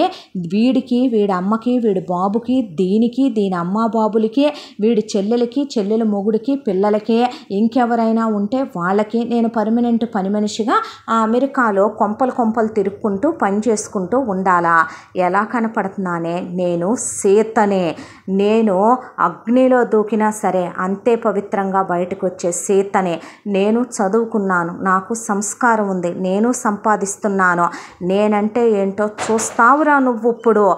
నువ్వు కలకంట కంట కన్నీరొలికిన సిరియింట నిలవదంట అనే మాటకి మీనింగ్ ఏంటో చూపిస్తా నీకు. అంది సీత అన్న తర్వాత పోలీసులు అదుపులోకి తీసుకున్న తర్వాత ఇలా సీతను పెళ్ళి చేసుకొని ఇలా చేశాడని నరసింహం వాళ్ళు ప్రూఫ్లు మొత్తం పెట్టాక ప్రసాద్ వాళ్ళ ఫ్యామిలీ మొత్తాన్ని గగన వాళ్ళ ఫ్యామిలీ మొత్తాన్ని ఇక్కడికి పిలిపించారు. పిలిపించిన తర్వాత సాక్ష్యాధారాలతో సహా కేసు ప్రూవ్ అయిందే. ప్రూవ్ అయిన తర్వాత ప్రసాద్ ఒక భారీ బ్రతికుండగానే ఇలా అమ్మాయిని మోసం చేసి తీసుకెళ్ళి ఇలా బాంబేలో ఒక రూమ్లో ఆ అమ్మాయిని వదిలేసి తన దాడి తను చూసుకొని అలా దేశాలే మారి ఫేక్ పాస్పోర్ట్లతో వేరే ఊళ్ళో ఉంటూ ఇలా ఆ అమ్మాయిని మోసం చేశారనేసరికి వాళ్ళకి జైలు శిక్ష సీతకి ఎలిమని కూడా ఇచ్చింది కోర్టు. ఆ తర్వాత డివోర్స్ ఇచ్చేసిన తర్వాత సీత పుట్టింటి వాళ్ళు వచ్చి అప్పుడు రామ్మ మేము పెద్ద సంబంధం చూసి కోటీశ్వర్ల సంబంధం ఇచ్చి చేస్తాము నీకంటే. చెప్పు తీసుకుంది సీత. చెప్పు తీసుకొని అక్కడే ఉన్న మేనత్తను పడేసి పళ్ళు రాలిపోయిందాకా కొట్టి తండ్రిని నిన్ను చూస్తేనే అసహ్యం వేస్తోంది. నిజంగా నువ్వు కన్న తల్లివంటే కన్న తల్లికి కన్న బిడ్డకి ఎంత బాధ కలిగితే కన్న పేగు కలుక్కుమని రక్తం వస్తుందంట కళ్ళల్లో నుంచి. నేను పోయానన్నారు నాకు పిండాలు పెట్టారు ఈరోజు నాలుగు డబ్బులు వచ్చినాయి అనేపాటికి మీ కొడుకుల ఫ్యూచర్ కోసం ఎంత తెలివిగా నటిస్తూ వచ్చావు నాన్న నువ్వు? నీలాంటి धवल చెప్పుతో కొట్టాలి చేత్తో కాదు. ఏం బతుకులురా మీవి. మీరు ఆ రోజే చచ్చారు. ఒకటి తెలుసా?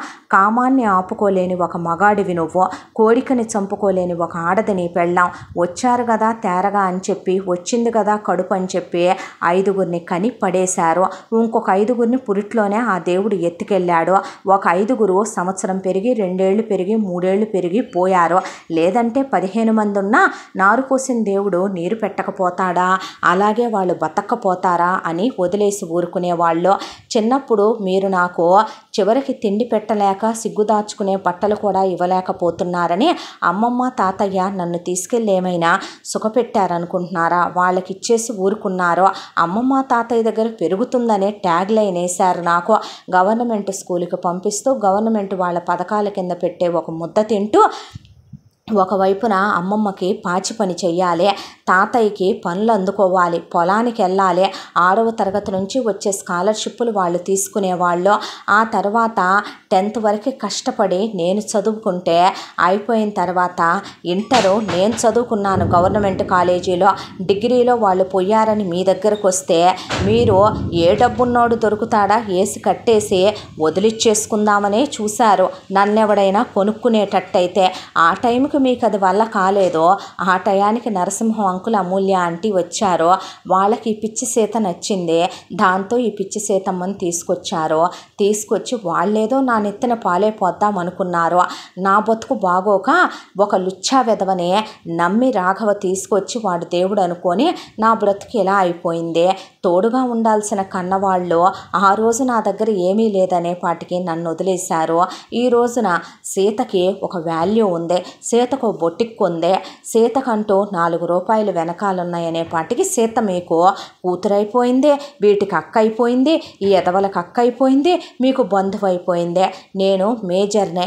మళ్ళీ నా లైఫ్లోకి మీలో ఎవరైనా వచ్చి ఏదైనా అలజడి సృష్టించాలి అనుకుంటే ఈసారి కేసు మీ మీద పెట్టి మీ అందరినీ లోపలికి తోయించాల్సి వస్తుంది అని సీత అక్కడి నుంచి పదన్న ఆంటీ పదన్న అంకుల్ అని అక్కడి నుంచి ఇంటికి వచ్చిందే ఇంటికి వచ్చిన తర్వాత ఇక ఎక్కడ వాళ్ళు అక్కడ కూర్చుండిపోయారు. కూర్చుండిపోయిన తర్వాత సీత పైకి వెళ్ళిందే పైకి వెళ్ళి తన అన్నీ ఒక సూట్ కేసు సర్దుకొని కిందకు వచ్చిందే ఎక్కడికమ్మా వెళుతున్నావు అని అడిగితే వెళ్ళిపోతున్నానా అంటే వెళ్ళిపోతున్నాను అంకుల్. ఆల్రెడీ ఒక ఫ్లాట్ చూసుకున్నాను. అడ్వాన్స్ కూడా ఇచ్చాను. బొటిక్కి దగ్గరగా ఉంటుంది. అక్కడే ఉంటాను. ఇవిగోండి ఆంటీ అంటే ఏంటమ్మా ఇవే? మీ అమ్మాయిగా భావించి ఆ రోజు నా పెళ్ళికని మీరు పెట్టిన నగలివే. ఇప్పుడు వీటితో నాకు అవసరము లేదు వీటి మీద నాకు ఆశ లేదు. నాకు మళ్ళీ ఏ మగాడిని నమ్మాలని మళ్ళీ ఎవరిని పెళ్ళి చేసుకోవాలని ఎవరి జీవితాల్లోకి వెళ్ళాలని లేదు. ఎక్కడికి నువ్వెళ్ళేదే అన్నాడు రాఘవ. నన్ను ఆపితే నువ్వు నన్ను చంపుకు తిన్నంత ఒట్టు అది కాదమ్మా. నేను చచ్చినంత ఒట్టే నంకుల్ మీరు మాట్లాడితే నేను ఇంట్లో ఉండకూడదు రాఘవ. ఏ వరుసతో ఉండను ఈ ఇంట్లో? ఎలా ఉండను? నీ స్నేహితురాలుగానా? ఆడ మగ మధ్య స్నేహాలు? ఇంకా ఈ ప్రపంచంలో ఎవరూ కూడాను వాళ్ళని అర్థం చేసుకునేంత ఎదగలేదు. వయసులో ఉన్న నేను దట్టు మొగుడుదలు పెట్టేసిన డివోర్జీ ఇప్పుడు నేను ఇక పెళ్ళి కాకపోయినా పెళ్ళైనా ఒక మగాడివి నువ్వు వయసులో ఉన్నవాడివే. నువ్వు నేను ఒకే ఇంట్లో ఉండకూడదు. నాకు తెలుసు అంకుల్ మీకోసమా మీ అబ్బాయి కోసమా నేను ఇంట్లో ఉండేదని. ఆల్రెడీ మాట అయితే వచ్చింది వర్షిత వాళ్ళ దగ్గర నుంచే. రేపు ఆ మాట నేను నిజం చేసినట్టు అయిపోతుందా అంటే వద్దు తీసుకొచ్చారు చదువు చెప్పించారు ధైర్యం నేర్పించారు. మీరు నా మంచి తలిచే పెళ్ళి చేశారు. నా బ్రతుకు నాశనమే అయిపోనివ్వండి. దానికి కారకులు మీరు కాదు. మిమ్మల్ని నేను ఎప్పుడూ శపించను తప్పు పట్టను ఒక్క మాట అనలేను. నాకు ఎప్పుడూ మీరమ్మా నాన్నలే. నేనేమి మీ నుండి దూరంగా వెళ్ళిపోవటం లేదు. నువ్వు బొటిక్కి వస్తే నేను నిన్ను పలకరించను అనలేదు రాఘవ. మిమ్మల్ని నేను చూసి వెళ్ళటానికి వారం వారం వస్తాను. నేనేమి మిమ్మల్ని వదిలేయటం లేదా అంటే అంకుల్? నాకు మనశ్శాంతి కావాలి ప్రశాంతత కావాలి. నాకంటూ బొట్టికి పెట్టించారు ఆ డబ్బులు వెనక్కి ఇవ్వలేను ఇచ్చినా మీరు తీసుకోరు. అది మిమ్మల్ని నేను అవమానించినట్టు అవుద్దే. మీరు నేర్పించిన ధైర్యంతో నేను చదువుకున్న చదువుతో పెట్టుకున్న బొట్టిక్తో నాలుగు రూపాయలు వస్తున్నాయి. దానికి తోడు ఆ నీచుడి ద్వారా వాడి ద్వారా నేను అనుభవించిన నరకానికో ఏమో కానీ కోర్టు వారు నాకు కొంత పైకాన్ని ఇప్పించారు పర్వాలేదు నేను ప్రశాంతంగా బ్రతకగలను. ఎవరో ఒక పిల్లనో పిల్లాన్నో దత్తత చేసుకుంటాను. ఆ తర్వాత వాళ్ళని చదివించి ప్రయోజకుల్ని చేసుకున్న నాలుగు రూపాయలు వాళ్ళ పేరు మీద పెట్టి పోతాను. ఏ ఆశ్రమానికో వద్దు. ఇంకా నా జీవితంలో ఏ అలజడులు నేను సృష్టించుకోవటానికి సిద్ధంగా లేను నాకు ధైర్యాన్ని ఇచ్చారు బ్రతుకు తెరుగుని చూపించారు. ఇప్పటిదాకా నా బొట్టికి మీద వచ్చిన ఒక్క రూపాయి మీరు ముట్టుకున్నది లేదు ప్రతి పైసా నేనేమి అనని తెలిసి కూడా నా పేరు మీదే ఒక అకౌంట్లో వేశారు అంకుల్ మీరు. ఆ కార్డ్ నా చేతికి ఇచ్చారా ఆంటీ మీరు. నాకు ధైర్యం ఉందే. ఈరోజు ఫినాన్షియల్ సెక్యూరిటీ కూడా ఉందే. నేను బ్రతకగలను. నేను ఇక్కడే ఉంటే మీ మధ్య చాలా అవరోధాలు ఏర్పడతాయి అడ్డుగోడలు ఏర్పడతాయి. అనవసరంగా రాఘవ ఒక అమ్మాయిని ప్రేమించాడు పెళ్ళి చేసుకోబోతున్నాడు. వాళ్ళ మధ్య నేను అడ్డుగోడను అవుతాను థర్డ్ పర్సన్ అవుతాను డిస్టర్బెన్స్ క్రియేట్ చేసిన దాన్ని అవుతాను. అనవసరంగా కొన్ని స్నేహాలు స్నేహాల వరకే ఉంటే మంచిదే. నేను ఇక్కడే ఉన్నాననుకోండి ఆ స్నేహాలు అక్రమ సంబంధాలు అవుతాయి తప్పులకి దారి తీస్తాయి. అక్కడ జరిగేదేమీ ఉండకపోవచ్చు కానీ మాటల తోటాలు తట్టుకునే శక్తి ఇంకా ఈ సీత గుండెకి లేదు అంకుల్. ప్రూవ్ చేసుకుంటూ వెళ్ళాలంటే ప్రతి ఒక్కటి నాలో ఓపిక చచ్చిపోయిందే. దయచేసి మీరు నన్ను ఆపొద్దనే. సీత అక్కడి నుంచి సూట్ కేసు తీసుకొని వెళ్ళిపోయిందే. ఎక్కడ మనుషులు అక్కడ కుప్పకూలిపోయినట్టు కూర్చుండిపోయారో. ఎవరికి తెల్లవారి ఆరింటి దాకా నిద్రలు లేవు. ఆ తర్వాత అలిసిపోయి సొమ్మసిల్లిపోయిన కళ్ళు నిద్రకు పడిపోయినాయి. ఇంట్లో ఎవరిని లేపటానికి సీతమ్మ లేదో. ఆ కాళ్ళకి గజ్జెల పట్టాల? శబ్దాలు లేవు? ఇంట్లో గలగలలాడుతూ మాట్లాడే సీత మాటలు లేవు. సీత చిరునవ్వులు లేవు? సీత గాజుల శబ్దాలు లేవు? పూజ గదిలో సీత వెలిగించిన దీపం లేదు. నిర్మాల్యాలు అలాగే ఉండిపోయినాయి సీత వాయించే గంట శబ్దాలు లేవు. ఇల్లంతా ధూపదీపాలు లేవు. ఇల్లంతా ఏదో అమావాస్య చీకట్లు కమ్ముకున్నట్టుగా అయిపోయిందే. మనుషులంతా దిగుల్లో కూరుకుపోయినట్టుగా అనిపించింది. ఒక్కొక్కళ్ళు నిద్ర లేచేపాటికి పది పెద్దవాళ్ళు ఇక అప్పటికి రాఘవ నిద్ర లేవనే లేదు. పదకొండు అయిపోయింది లేచి చూసుకుంటే సేతుంటే పొద్దున్నే లేపేదే బట్టలు ఇచ్చేదే సేతుంటే అదని ఇదని మాటలు చెప్పేది నవ్విచ్చేది కబుర్లు చెప్పేదే. సీత లేదు. కిందకు వస్తే వంటమ్మాయి పనమ్మాయి ఎవరి మొహంలో కళాకాంతులు లేవో తోటమాలి కోసుకొచ్చి పెట్టిన పువ్వులు అలాగే పుష్ప విలాపం అయిపోద్ది అని సీతన్న మాటలు అప్పుడు గుర్తొచ్చే పువ్వులు కూడా విలపిస్తున్నట్టుగా భగవంతుడు కూడా ఈరోజు నా ఆలయంలో కూడా చీకటి కమ్మేసింది అన్నట్టుగా అయిపోయింది. ఇల్లంతా కూడా మనుషులు మనుషుల్లా లేరు. ఆ రోజు ఎలా గడిచిపోయిందో కూడా తెలియదు సీత దగ్గర నుంచి ఒక మెసేజ్ లేదు ఒక ఫోన్ కాల్ లేదు. చివరికి అసలు బాధతో గుండెంతా బరువెక్కిపోయింది. ఉండలేని రాఘవ స్నానం చేశాడు. సీత బొటిక్ దగ్గరికి వెళ్ళాడు. అలా కూర్చుంది బొటిక్ దగ్గర. రాఘవ వెళ్తే రమ్మనమంది పలకరించింది. కానీ ఇదివరకటి చిరునవ్వు లేదు. ఇదివరకటి స్నేహం లేదు. ఆత్మీయత లేదు. ఏదో తెలియని హద్దులు ఏవో తెలియని భయాలు. నేను నీకేమీ కానని నువ్వు నాకేమీ కావని సీత చెప్తున్నట్టే అనిపించింది. ఫోన్ అయినా చేయలేదే అన్నాడు. ఇక నుంచి నువ్వు అలవాటు చేసుకోవాలి. నీ పనులు నువ్వే చేసుకోవటం. నీ జీవితంలోకి కొత్త వ్యక్తులు వస్తారు. వచ్చిన వాళ్ళు నీ లైఫ్లో అన్నిటికీ ఇనిషియేటివ్ ఆంటీ అంకుల్ విషయంలో మీ ఇంటి విషయంలో వాళ్ళే తీసుకుంటారు. మీ ఇల్లు మా ఇల్లు అని వేరైపోయిందా సీత? ఒక విషయం చెప్పమంటావా? సీత అనాథ రాగవా సీతకి ఎవరూ లేరు. ఆ దేవుడు తప్ప. సీతకి ఎప్పుడూ కూడా తోడుగా ఉందేంటో తెలుసా? కష్టాలు కన్నీళ్ళు దుఃఖం ఏడుపు. ఆ పేరు నాకు ఏమంటా పెట్టారో కానీ ఆ సీతమ్మ సుఖంగా ఉన్నది లేదు. ఈరోజు ఈ సీత జీవితంలోనూ సుఖం ప్రశాంతత లేదో బహుశా పేరులోనే ఉంటుందేమో. బాధలు దుఃఖాలు అనేవి అనేపాటికి రాఘవ ఏమీ మాట్లాడలేదు. ఆ రోజు నుంచి ప్రతిరోజు వెళ్ళొస్తున్నాడు సీత బొటిక్ దగ్గరికి. కానీ సీత చాలా టైం ఉండిపోతుంది బొటిక్ దగ్గర. ఎందుకు ఇప్పుడు దాకా అంటే పనుందిగా. కాసేపు ఇక్కడ ఉంటేనే మనసు ప్రశాంతంగా ఉంటుంది. ఫ్లాట్కి వెళ్తే ఒక్కదాన్నేగా రాఘవ. అంటే ఇదివరకిట్లాగా వర్క్ టైం వర్క్కు ఉండాలి ఫ్యామిలీ టైం ఫ్యామిలీకి ఉండాలని చేపట్టి లాక్కొని ఇంటికి తీసుకెళ్ళే హక్కు ఇప్పుడు తనకి లేదు. అలా సీత ఒంటరిగా ఉండిపోయినా వదిలేసి రావాల్సి వస్తుంది తనకేమీ కాదన్నట్టు గుండె ముక్కలైపోతుంది ఒకవైపు నుంచే.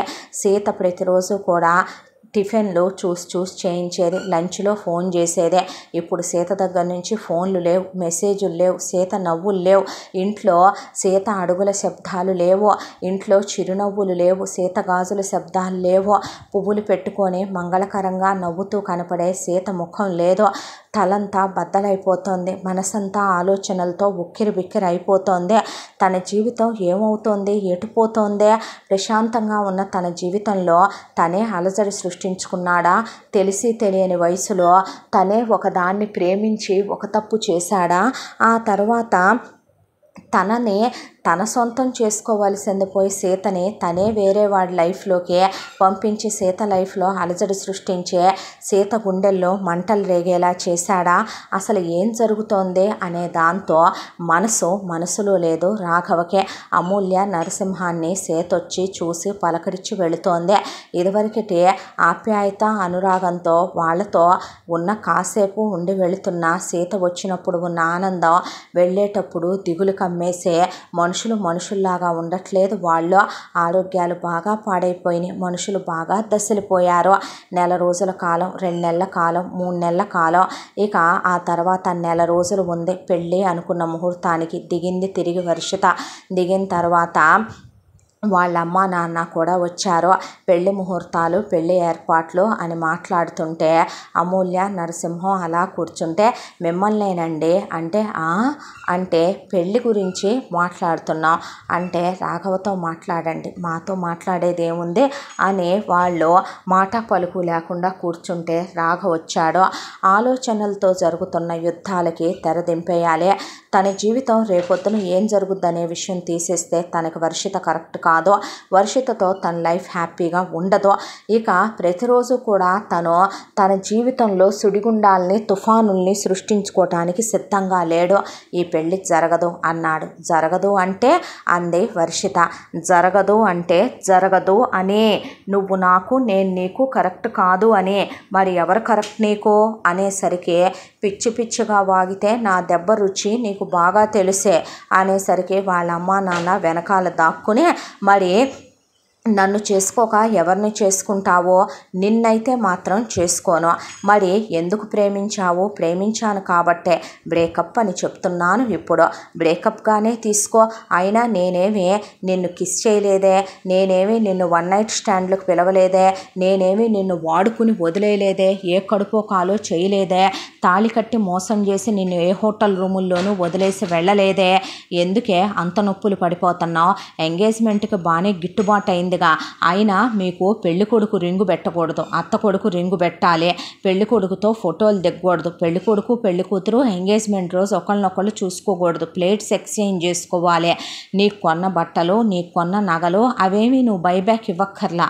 బాగానే గిట్టుబాటు అయిందిగా. ఎన్ని సంవత్సరాలుగా నువ్వు టెన్త్ క్లాస్ వరకు ఫ్రెండ్గా. ఇంటర్ నుంచి నువ్వు ఆ తర్వాత మొన్న వచ్చేంత వరకు వచ్చిన తర్వాత ఇప్పటి వరకు కూడా గర్ల్ ఫ్రెండ్ అనే దాంతో బాగానే కూడేసుకున్నావుగా వెనకమాల బాగానే కొనిచ్చుకున్నావుగా చాలా.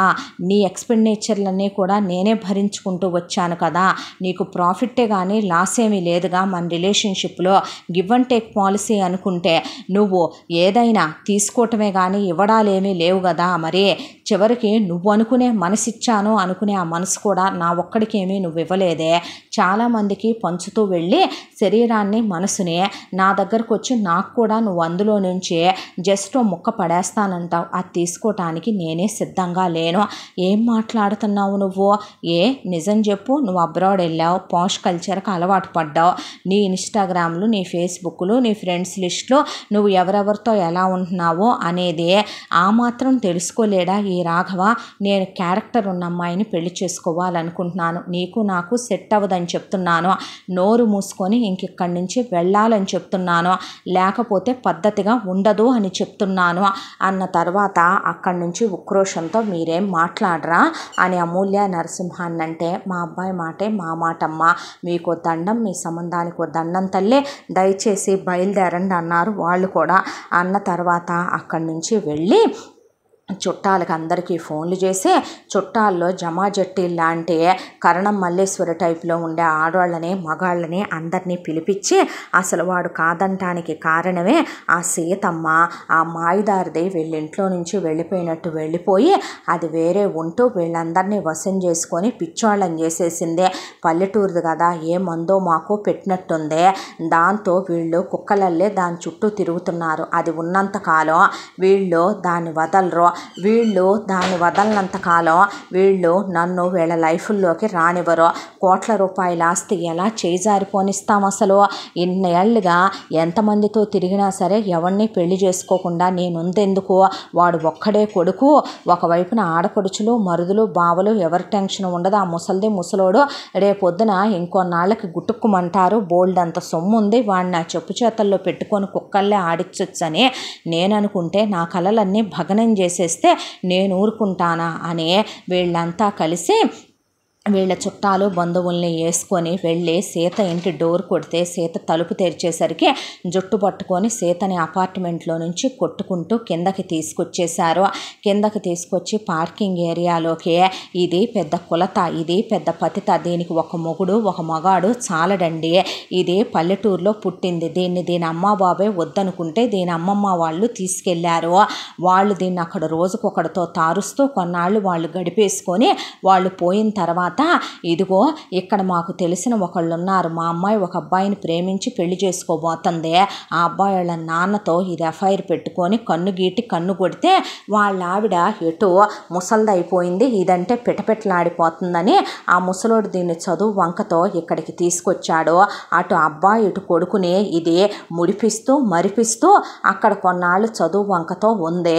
ఉన్న తర్వాత అక్కడికి మా కాబోయే అల్లుడు స్నేహితుడు ఒకడు వస్తే వాడిని వల్లో వేసుకొని వాడితో తాళి కట్టించుకుంది. గుట్టంతా వాడికి తెలిసేపాటికి పాపం వాడు దీన్ని వదిలేసి వాడి మరదల్ని తగులుకొని వాడు వేరే ఊరు వెళ్ళిపోయాడు. పెళ్ళి చేసుకొని దేశం కాని దేశం.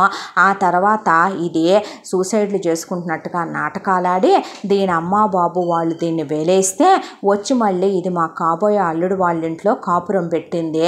మూడు సంవత్సరాల నుంచి మెళ్ళో తాళి తీయని పతివ్రతలాగా కాళ్ళకు మెట్లు పెట్టి మెళ్ళో నల్లబూసలేసి నొసట్లో సింధూరాలు పెట్టి చేతులకు మట్టి గాజులేసి చీరలు కట్టి ఈ మహాపతివ్రత సెక్సీగా బొట్టికోటి ఎలిగిచ్చి ఇది కొడుకుతో ఒకరోజు అబ్బతో ఒకరోజు కాపురం చేస్తా వాళ్ళ ఇంటి పెత్తనం అంతా దీని చేతిలోకి తీసుకొని పనివాళ్ళందరినీ గ్రిప్పులో పెట్టుకొని అబ్బా కొడుకుల్ని ఇక ఇది కూర్చోమంటే కూర్చొని నుంచోమంటే నుంచునేటట్టుగా ఆ ముసల్దానికి మందో మాకో పెట్టి వశీకరణం చేసుకొని మొత్తానికి వాళ్ళ ఫ్యామిలీని అంతా కూడా ఇది దీని లైన్లో ఉంచిందే.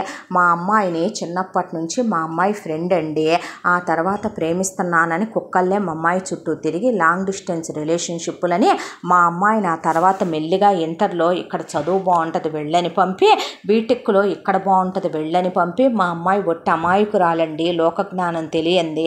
తర్వాత మా పిల్ల ఫారెన్ వెళ్తానంటే పంపించేసి శుభ్రంగా మా పిల్ల అక్కడ ఉద్యోగం చేసుకుంటాను కొన్నాళ్ళ పాటు అంటే పర్లేదురా చేసుకొని ఇక్కడ అసలు అదొకటి ఉందని దాన్ని ఇంట్లో పెట్టుకున్నామనే విషయం కూడా దీని గురించి చెప్పకుండా రహస్యంగా దీంతో ప్రేమాయణాలు సాగిస్తూ దీంతో సుఖపడుతూ తాళిది ఒకటితో కట్టించుకొని ఇక ఇది ఇంకో మగాడికి శరీరాన్ని పంచుతున్న నీతిమాలని ఆడదే. అసలు ఈ అపార్ట్మెంట్లో ఇన్ని ఫ్యామిలీస్ ఉంటున్నాయి. ఇంతమంది ఫ్యామిలీ లేడీస్ ఉంటున్నారు. మీ అందరికీ మొగుళ్ళు లేరు మీ అందరికీ కొడుకులు లేరు తమ్ముళ్ళు లేరు అన్నలు లేరు. అసలు ఇలాంటి వాటిని ఉంచుకుంటే ఇంకేమైనా ఉందా మీరు అసలు? అవ్వా అని వాళ్ళందరికీ చెప్తుంటే వాళ్ళందరూ సీత గురించి నానా రకాలుగా మాట్లాడుకుంటుంటే రాగిణి సీత ఫ్లాట్లోకి వచ్చిన దగ్గర నుంచి కీసు సీత తెచ్చి పొద్దున్నే ఓపెన్ చేసి పూజ చేసి రెడీగా ఉంటుంది. రాగిణి వచ్చేసరికి అలాంటిది సీత రాలేదేంటి? షాప్ తీయలేదేంటి? అనే రాగిణి కరెక్ట్గా గొడవ స్టార్ట్ అవ్వక ముందే సీతను జుట్టు పట్టుకొని కిందకి లాక్కొచ్చినప్పుడు అపార్ట్మెంట్ దగ్గరకు వచ్చింది. వచ్చినటువంటి రాగిణి ఫోన్ ఆన్ చేసి అలా పట్టుకుంటే దీని షాపులో ఒకటి ఉంటుంది అది దీనికి దుప్పట్లు మారుస్తూ ఉంటుంది. అది దీనికి పడకలు మార్చుద్ది. ఇక కొట్టుకొచ్చేటటువంటి మగాళ్ళందరికీ కూడా వెనకమాల ఇది మసాజ్ సెంటర్లు ఓపెన్ చేసి వాళ్ళందరినీ సుఖపెడుతుంది. ఈ నీతి మాలిందే. దీని దగ్గర డబ్బులు బాగానే ఉన్నాయి. అందం పొ పొందు ఇస్తామంటే ఏ మగాడొద్దంటాడు? హంగు పొంగు ఉన్న ఇలాంటి ఆడవాళ్ళనే అనేసరికి రాగిణి మొత్తం వీడియో తీసి ఒక్కటే ఒక్కటే సెంట్ అనే క్లిక్ బటన్ నొక్కేసింది రాఘవకే. ఇక రాఘవ అప్పటికే మూడు రోజుల నుంచి సీత తనకు ఫోన్ చేయట్లేదనే కోపంతో తను చేయకపోతే నేను చేయనని తనే రావాలని తను రాకపోతే నేను ఆఫీసుకు కూడా వెళ్ళనని ఇంట్లోనే ఉంటే అమూల్య నరసింహం ఆ రోజే సీత దగ్గరికి వెళ్ళి మాట్లాడదామని వాళ్ళు కూడా అప్పుడే బయలుదేరదాం అనుకునే లోపు ఆ వీడియో అంతా చూసిన రాఘవకి ఇక పరశురాముడు అయిపోయాడు రాఘవ. ఇక కోపం కట్టలు తెంచేసుకుంది. దాంతో ఇంట్లో వెళ్తూ వెళ్తూ వాళ్ళ ఇంట్లో నాలుగు పెద్ద పెద్ద కుక్కలు ఉంటాయి ఆ కుక్కల్ని కట్టేసేయి చాలా పవర్ఫుల్ చైన్లు ఉంటాయి నాలుగు చైన్లు చేత్తో పట్టుకున్నాడు. ఒకేసారి నాలుగు కట్టగా పట్టుకొని కారు ఎక్కి డాడీ పద అనే పాటకు ఆయన చాలా ఫాస్ట్గా డ్రైవ్ చేసుకుంటూ సీత వాళ్ళ ఫ్లాట్ దగ్గరికి తీసుకొచ్చే ఆయన ఆల్రెడీ పోలీసులకి ఫోన్ చేసే వచ్చాడు. ఇక అక్కడ సీతను పడేసి కొడుతూ వాళ్ళందరి ముందు మాట్లాడుతుంటే పడేసి ముందు వర్షితని వర్షిత మీద వాళ్ళ అమ్మని వాళ్ళ అమ్మ మీద వాళ్ళ నాన్నని పడేసి తుక్కు తుక్కు కింద కొట్టి ఏమే ఎంత మర్యాదగా చెప్పుంటాను నేను? వెళ్ళిపో అని చెప్పా. నీ మీద నాకు ఇష్టం లేదని చెప్పా ప్రేమ లేదని చెప్పా నీకు నాకు సెట్ అవ్వదని చెప్పా. అయినా నువ్వు ఇక్కడికి వచ్చావు దిక్కు మొక్కు లేని ఆడదు కదా కొడితే పడుద్ది తిడితే పడుద్ది అనుకుంటున్నారా? మీకు ఉందగా ఇది కూతురు? మీ కూతుర్ని గురించి నాకు చాలా విషయాలు తెలిసాయి. ఓపెన్ అప్ అయిపోదాం కాసేపు అనే వర్షిత చేతిలో ఫోన్ లాక్కునేసరికి పోలీసులు అక్కడికి వచ్చారు వచ్చి జరిగిందంతా చూసిన పోలీసులు ఇక్కడ మీరు ఇలా ఒక అమ్మాయి ఇంటికి వచ్చి ఆ అమ్మాయి ఒంటరిగా ఉంటే దౌర్జన్యం చేసి అపార్ట్మెంట్ పైన నుంచి కిందకి లాక్కొచ్చినట్టు సీసీ కెమెరాల్లో రికార్డ్ అయింది మీరు ఆ అమ్మాయిని అసలు కొట్టే హక్కు ఎవడిచ్చాడు మీకని?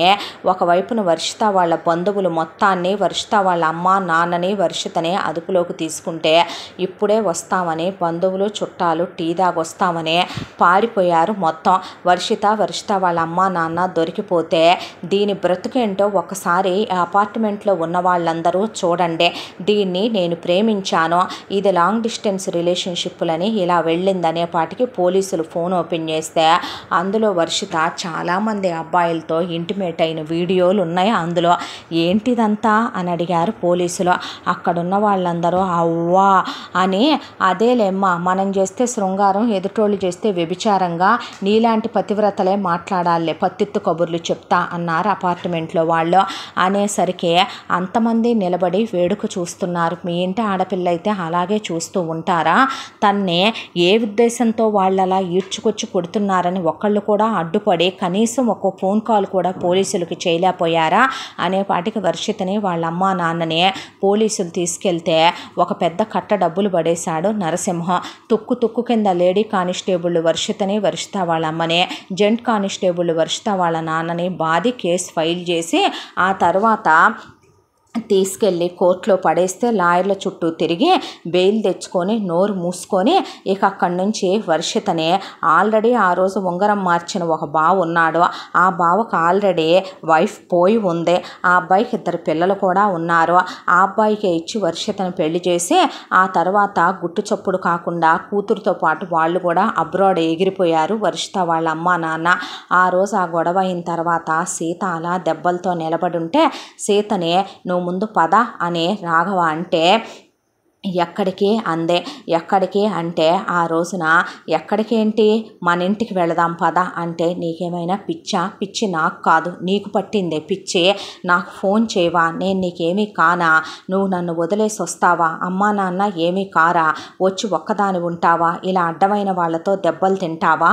అనే పాటికి అప్పుడు వర్షిత కూడా ఉంది. ఉండి వర్షిత నువ్వు ఏ ఉద్దేశం లేకుండానే దాన్ని తీసుకెళ్తున్నావా? అవునే ఉంది. ఉద్దేశం ఉంది నేను నిన్నే ప్రేమిస్తున్నాను అనుకుని నీ మీద నాకుంది ఇన్ఫాక్చుయేషన్ అట్రాక్షన్ మాత్రమే. సీత మా ఇంటికి వచ్చిన దగ్గర నుంచి నేను సీత మీద ప్రేమను కూడా స్నేహం అనుకున్న పనికి మాలిన ఎదవని నేను. బంగారాన్ని ఎవడైనా మన లైఫ్లో ఉంచుకుంటాడో. అలాంటిది పక్కనోడి కప్పు చెప్పిన చేతగాని ఎదవని నేను. ఫస్ట్ నుంచి నా సెలక్షన్ అంతే ఉంటుంది సీత. ఈ దరిద్రపు దాన్ని నేను అలాగే సెలెక్ట్ చేసుకున్నాను. ఆ పనికి మాలిన ఎదవకి నాలా వాడి కోపం ఉండదు. నాలా వాడికి గర్ల్ ఫ్రెండ్స్ లేరు. నాలా వాడు. అప్పుడప్పుడు నేను స్మోక్ చేసి డ్రింక్ చేస్తాను. వాడు పత్తిత్తు పతివ్రత పురుషుడు. నేనైనా అమ్మా నాన్నలకి ఎదురు చెప్తాను. వాడు అది కూడా చెప్పడు. నువ్వు చెప్పినట్టు వింటాడు. నీ చెప్పు చేతల్లో ఉంటాడు. నీ కోసం అమెరికా వెళ్ళనన్నాడు. నువ్వు కడుపుతో ఉంటే వాడు పురిటినొప్పులు పడతాడు. నిన్ను మా నుంచి దూరంగా తీసుకెళ్ళడు. ఎప్పుడు తెమ్మంటే అప్పుడు తెస్తాడు. నిన్నెప్పుడంటే అప్పుడు అమ్మా నాన్న నేను చూడొచ్చు. నా కళ్ళ ముందే వాడు ఉంటాడనే దాంతోనే కలిసి బిజినెస్ పెట్టుకుందామని హాఫ్ షేర్ వాడికి ఇద్దాం అనుకున్నాను నీకోసం నేను నేను నాకన్నా బెటర్ వాడిని నీకు చూస్తున్నాను అనుకున్నానే తప్ప వాడు నీ కాళ్ళు పట్టుకోవటానికైనా సిద్ధం నేను అన్నప్పుడు నా గుండెల్లోనే నేను నీకు గుడి కట్టి పూజించగలననే విషయాన్ని మర్చిపోయిన మూర్ఖపు ఎదవని నేను. నువ్వు ముందు బయలుదేరుతున్నావా లేదా అని వర్షితని కొట్టుకుంటూ కొట్టుకుంటూ అక్కడి నుంచి గెంటేసి సీతను తీసుకొని అప్పుడే రాఘవ ఇంటికి తీసుకొచ్చాడు. తీసుకొచ్చిన తర్వాత నువ్వు నన్ను పెళ్ళి చేసుకోకపోయినా పర్వాలేదు. నువ్వు నన్ను ప్రేమించకపోయినా పర్వాలేదు. But I love you. నువ్వంటే నాకు ఇష్టం నేను నిన్ను తప్ప ఎవరిని పెళ్ళి చేసుకోను. నా మనసులో నా శరీరానికి నీకు తప్ప ఎవరికి తాకే అర్హత లేదు. నా మనసులో ఉండే స్థానం ఎవరికీ లేదు సీత. నువ్వైతేనే నాకు కరెక్ట్. నేనైతేనే నీకు కరెక్ట్. ఆయన దేవుడు నిర్ణయించిన జంట మనం. ఈ సీతా కళ్యాణం ఈ రాఘవతోనని దేవుడు ఎప్పుడూ నిశ్చయించేశాడు. సీతకి రాఘవుడే కదూ భర్త. ఇది ఏనాడో త్రేతాయుగంలో నిర్ణయించబడిన నీతే కాదంటానికి నువ్వెవరు నేనెవరు? పర్వాలేదు నేను వెయిట్ చేస్తాను. నీ మనసు మారేంత వరకు నువ్వు మామూలు అయ్యేంత వరకు నీ గుండెల్లో బాధ బరువు తీరిపోయేంత వరకు. నువ్వంటే నాకు ఎంత ఇష్టమో నీకు తెలుసు. కానీ ఇంతకాలం అది ప్రేమని నాకు తెలియదు నాకు ఎలా ఎక్స్ప్రెస్ చేయాలో అర్థం కాలేదు. కానీ ఇప్పుడు చెప్తున్నాను నువ్వంటే నాకు ప్రాణం. నువ్వు లేనిది నేను బ్రతకలేను. నీ స్థానం నేను ఎవరికీ ఇవ్వలేను. నా నుండి నువ్వు దూరం అయితే నేను బ్రతకలేను. వెళ్ళిపోదాం అనుకున్నావో చస్తానే సీత. జాగ్రత్త అని చెప్పి రాఘవ ఏమీ మాట్లాడలేదు. ఆ తర్వాత సంవత్సర కాలం ఆ సంవత్సర కాలంలో మళ్ళీ ఎప్పట్లాగానే వాళ్ళ రొటీన్ లైఫ్లో అలా సాగిపోవటం మొదలైంది. ఈ సంవత్సర కాలంలో అటు వర్షిత పెళ్ళైపోవటం అయిపోయింది. ఇక ఒక రోజున రాఘవ సీతని అందరి ముందు అమ్మ నాన్న ముందు తంది ఆఫీస్ది పెద్ద అకేషన్ జరుగుతుంది. అక్కడ రింగ్ తీసుకొని మోకాళ్ళ మీద కూర్చొని ప్రపోజ్ చేశాడు. ఈసారి సీత రాఘవ ప్రేమని కాదనలేదు. అమూల్య నరసింహం కూడా తాము చేసిన తప్పుకి క్షమించమని చేతులు జోడించి నుంచున్నారు. ఆ అమ్మాయి కడుపులో ఉన్న బాధ తన్నుకొచ్చి ఏడుస్తూ రాఘవని కౌగిలించుకుందే. ఉంగరం పెట్టాడు. సీతను కౌగిలించుకొని పెదవుల మీద ముద్దు పెట్టాడు.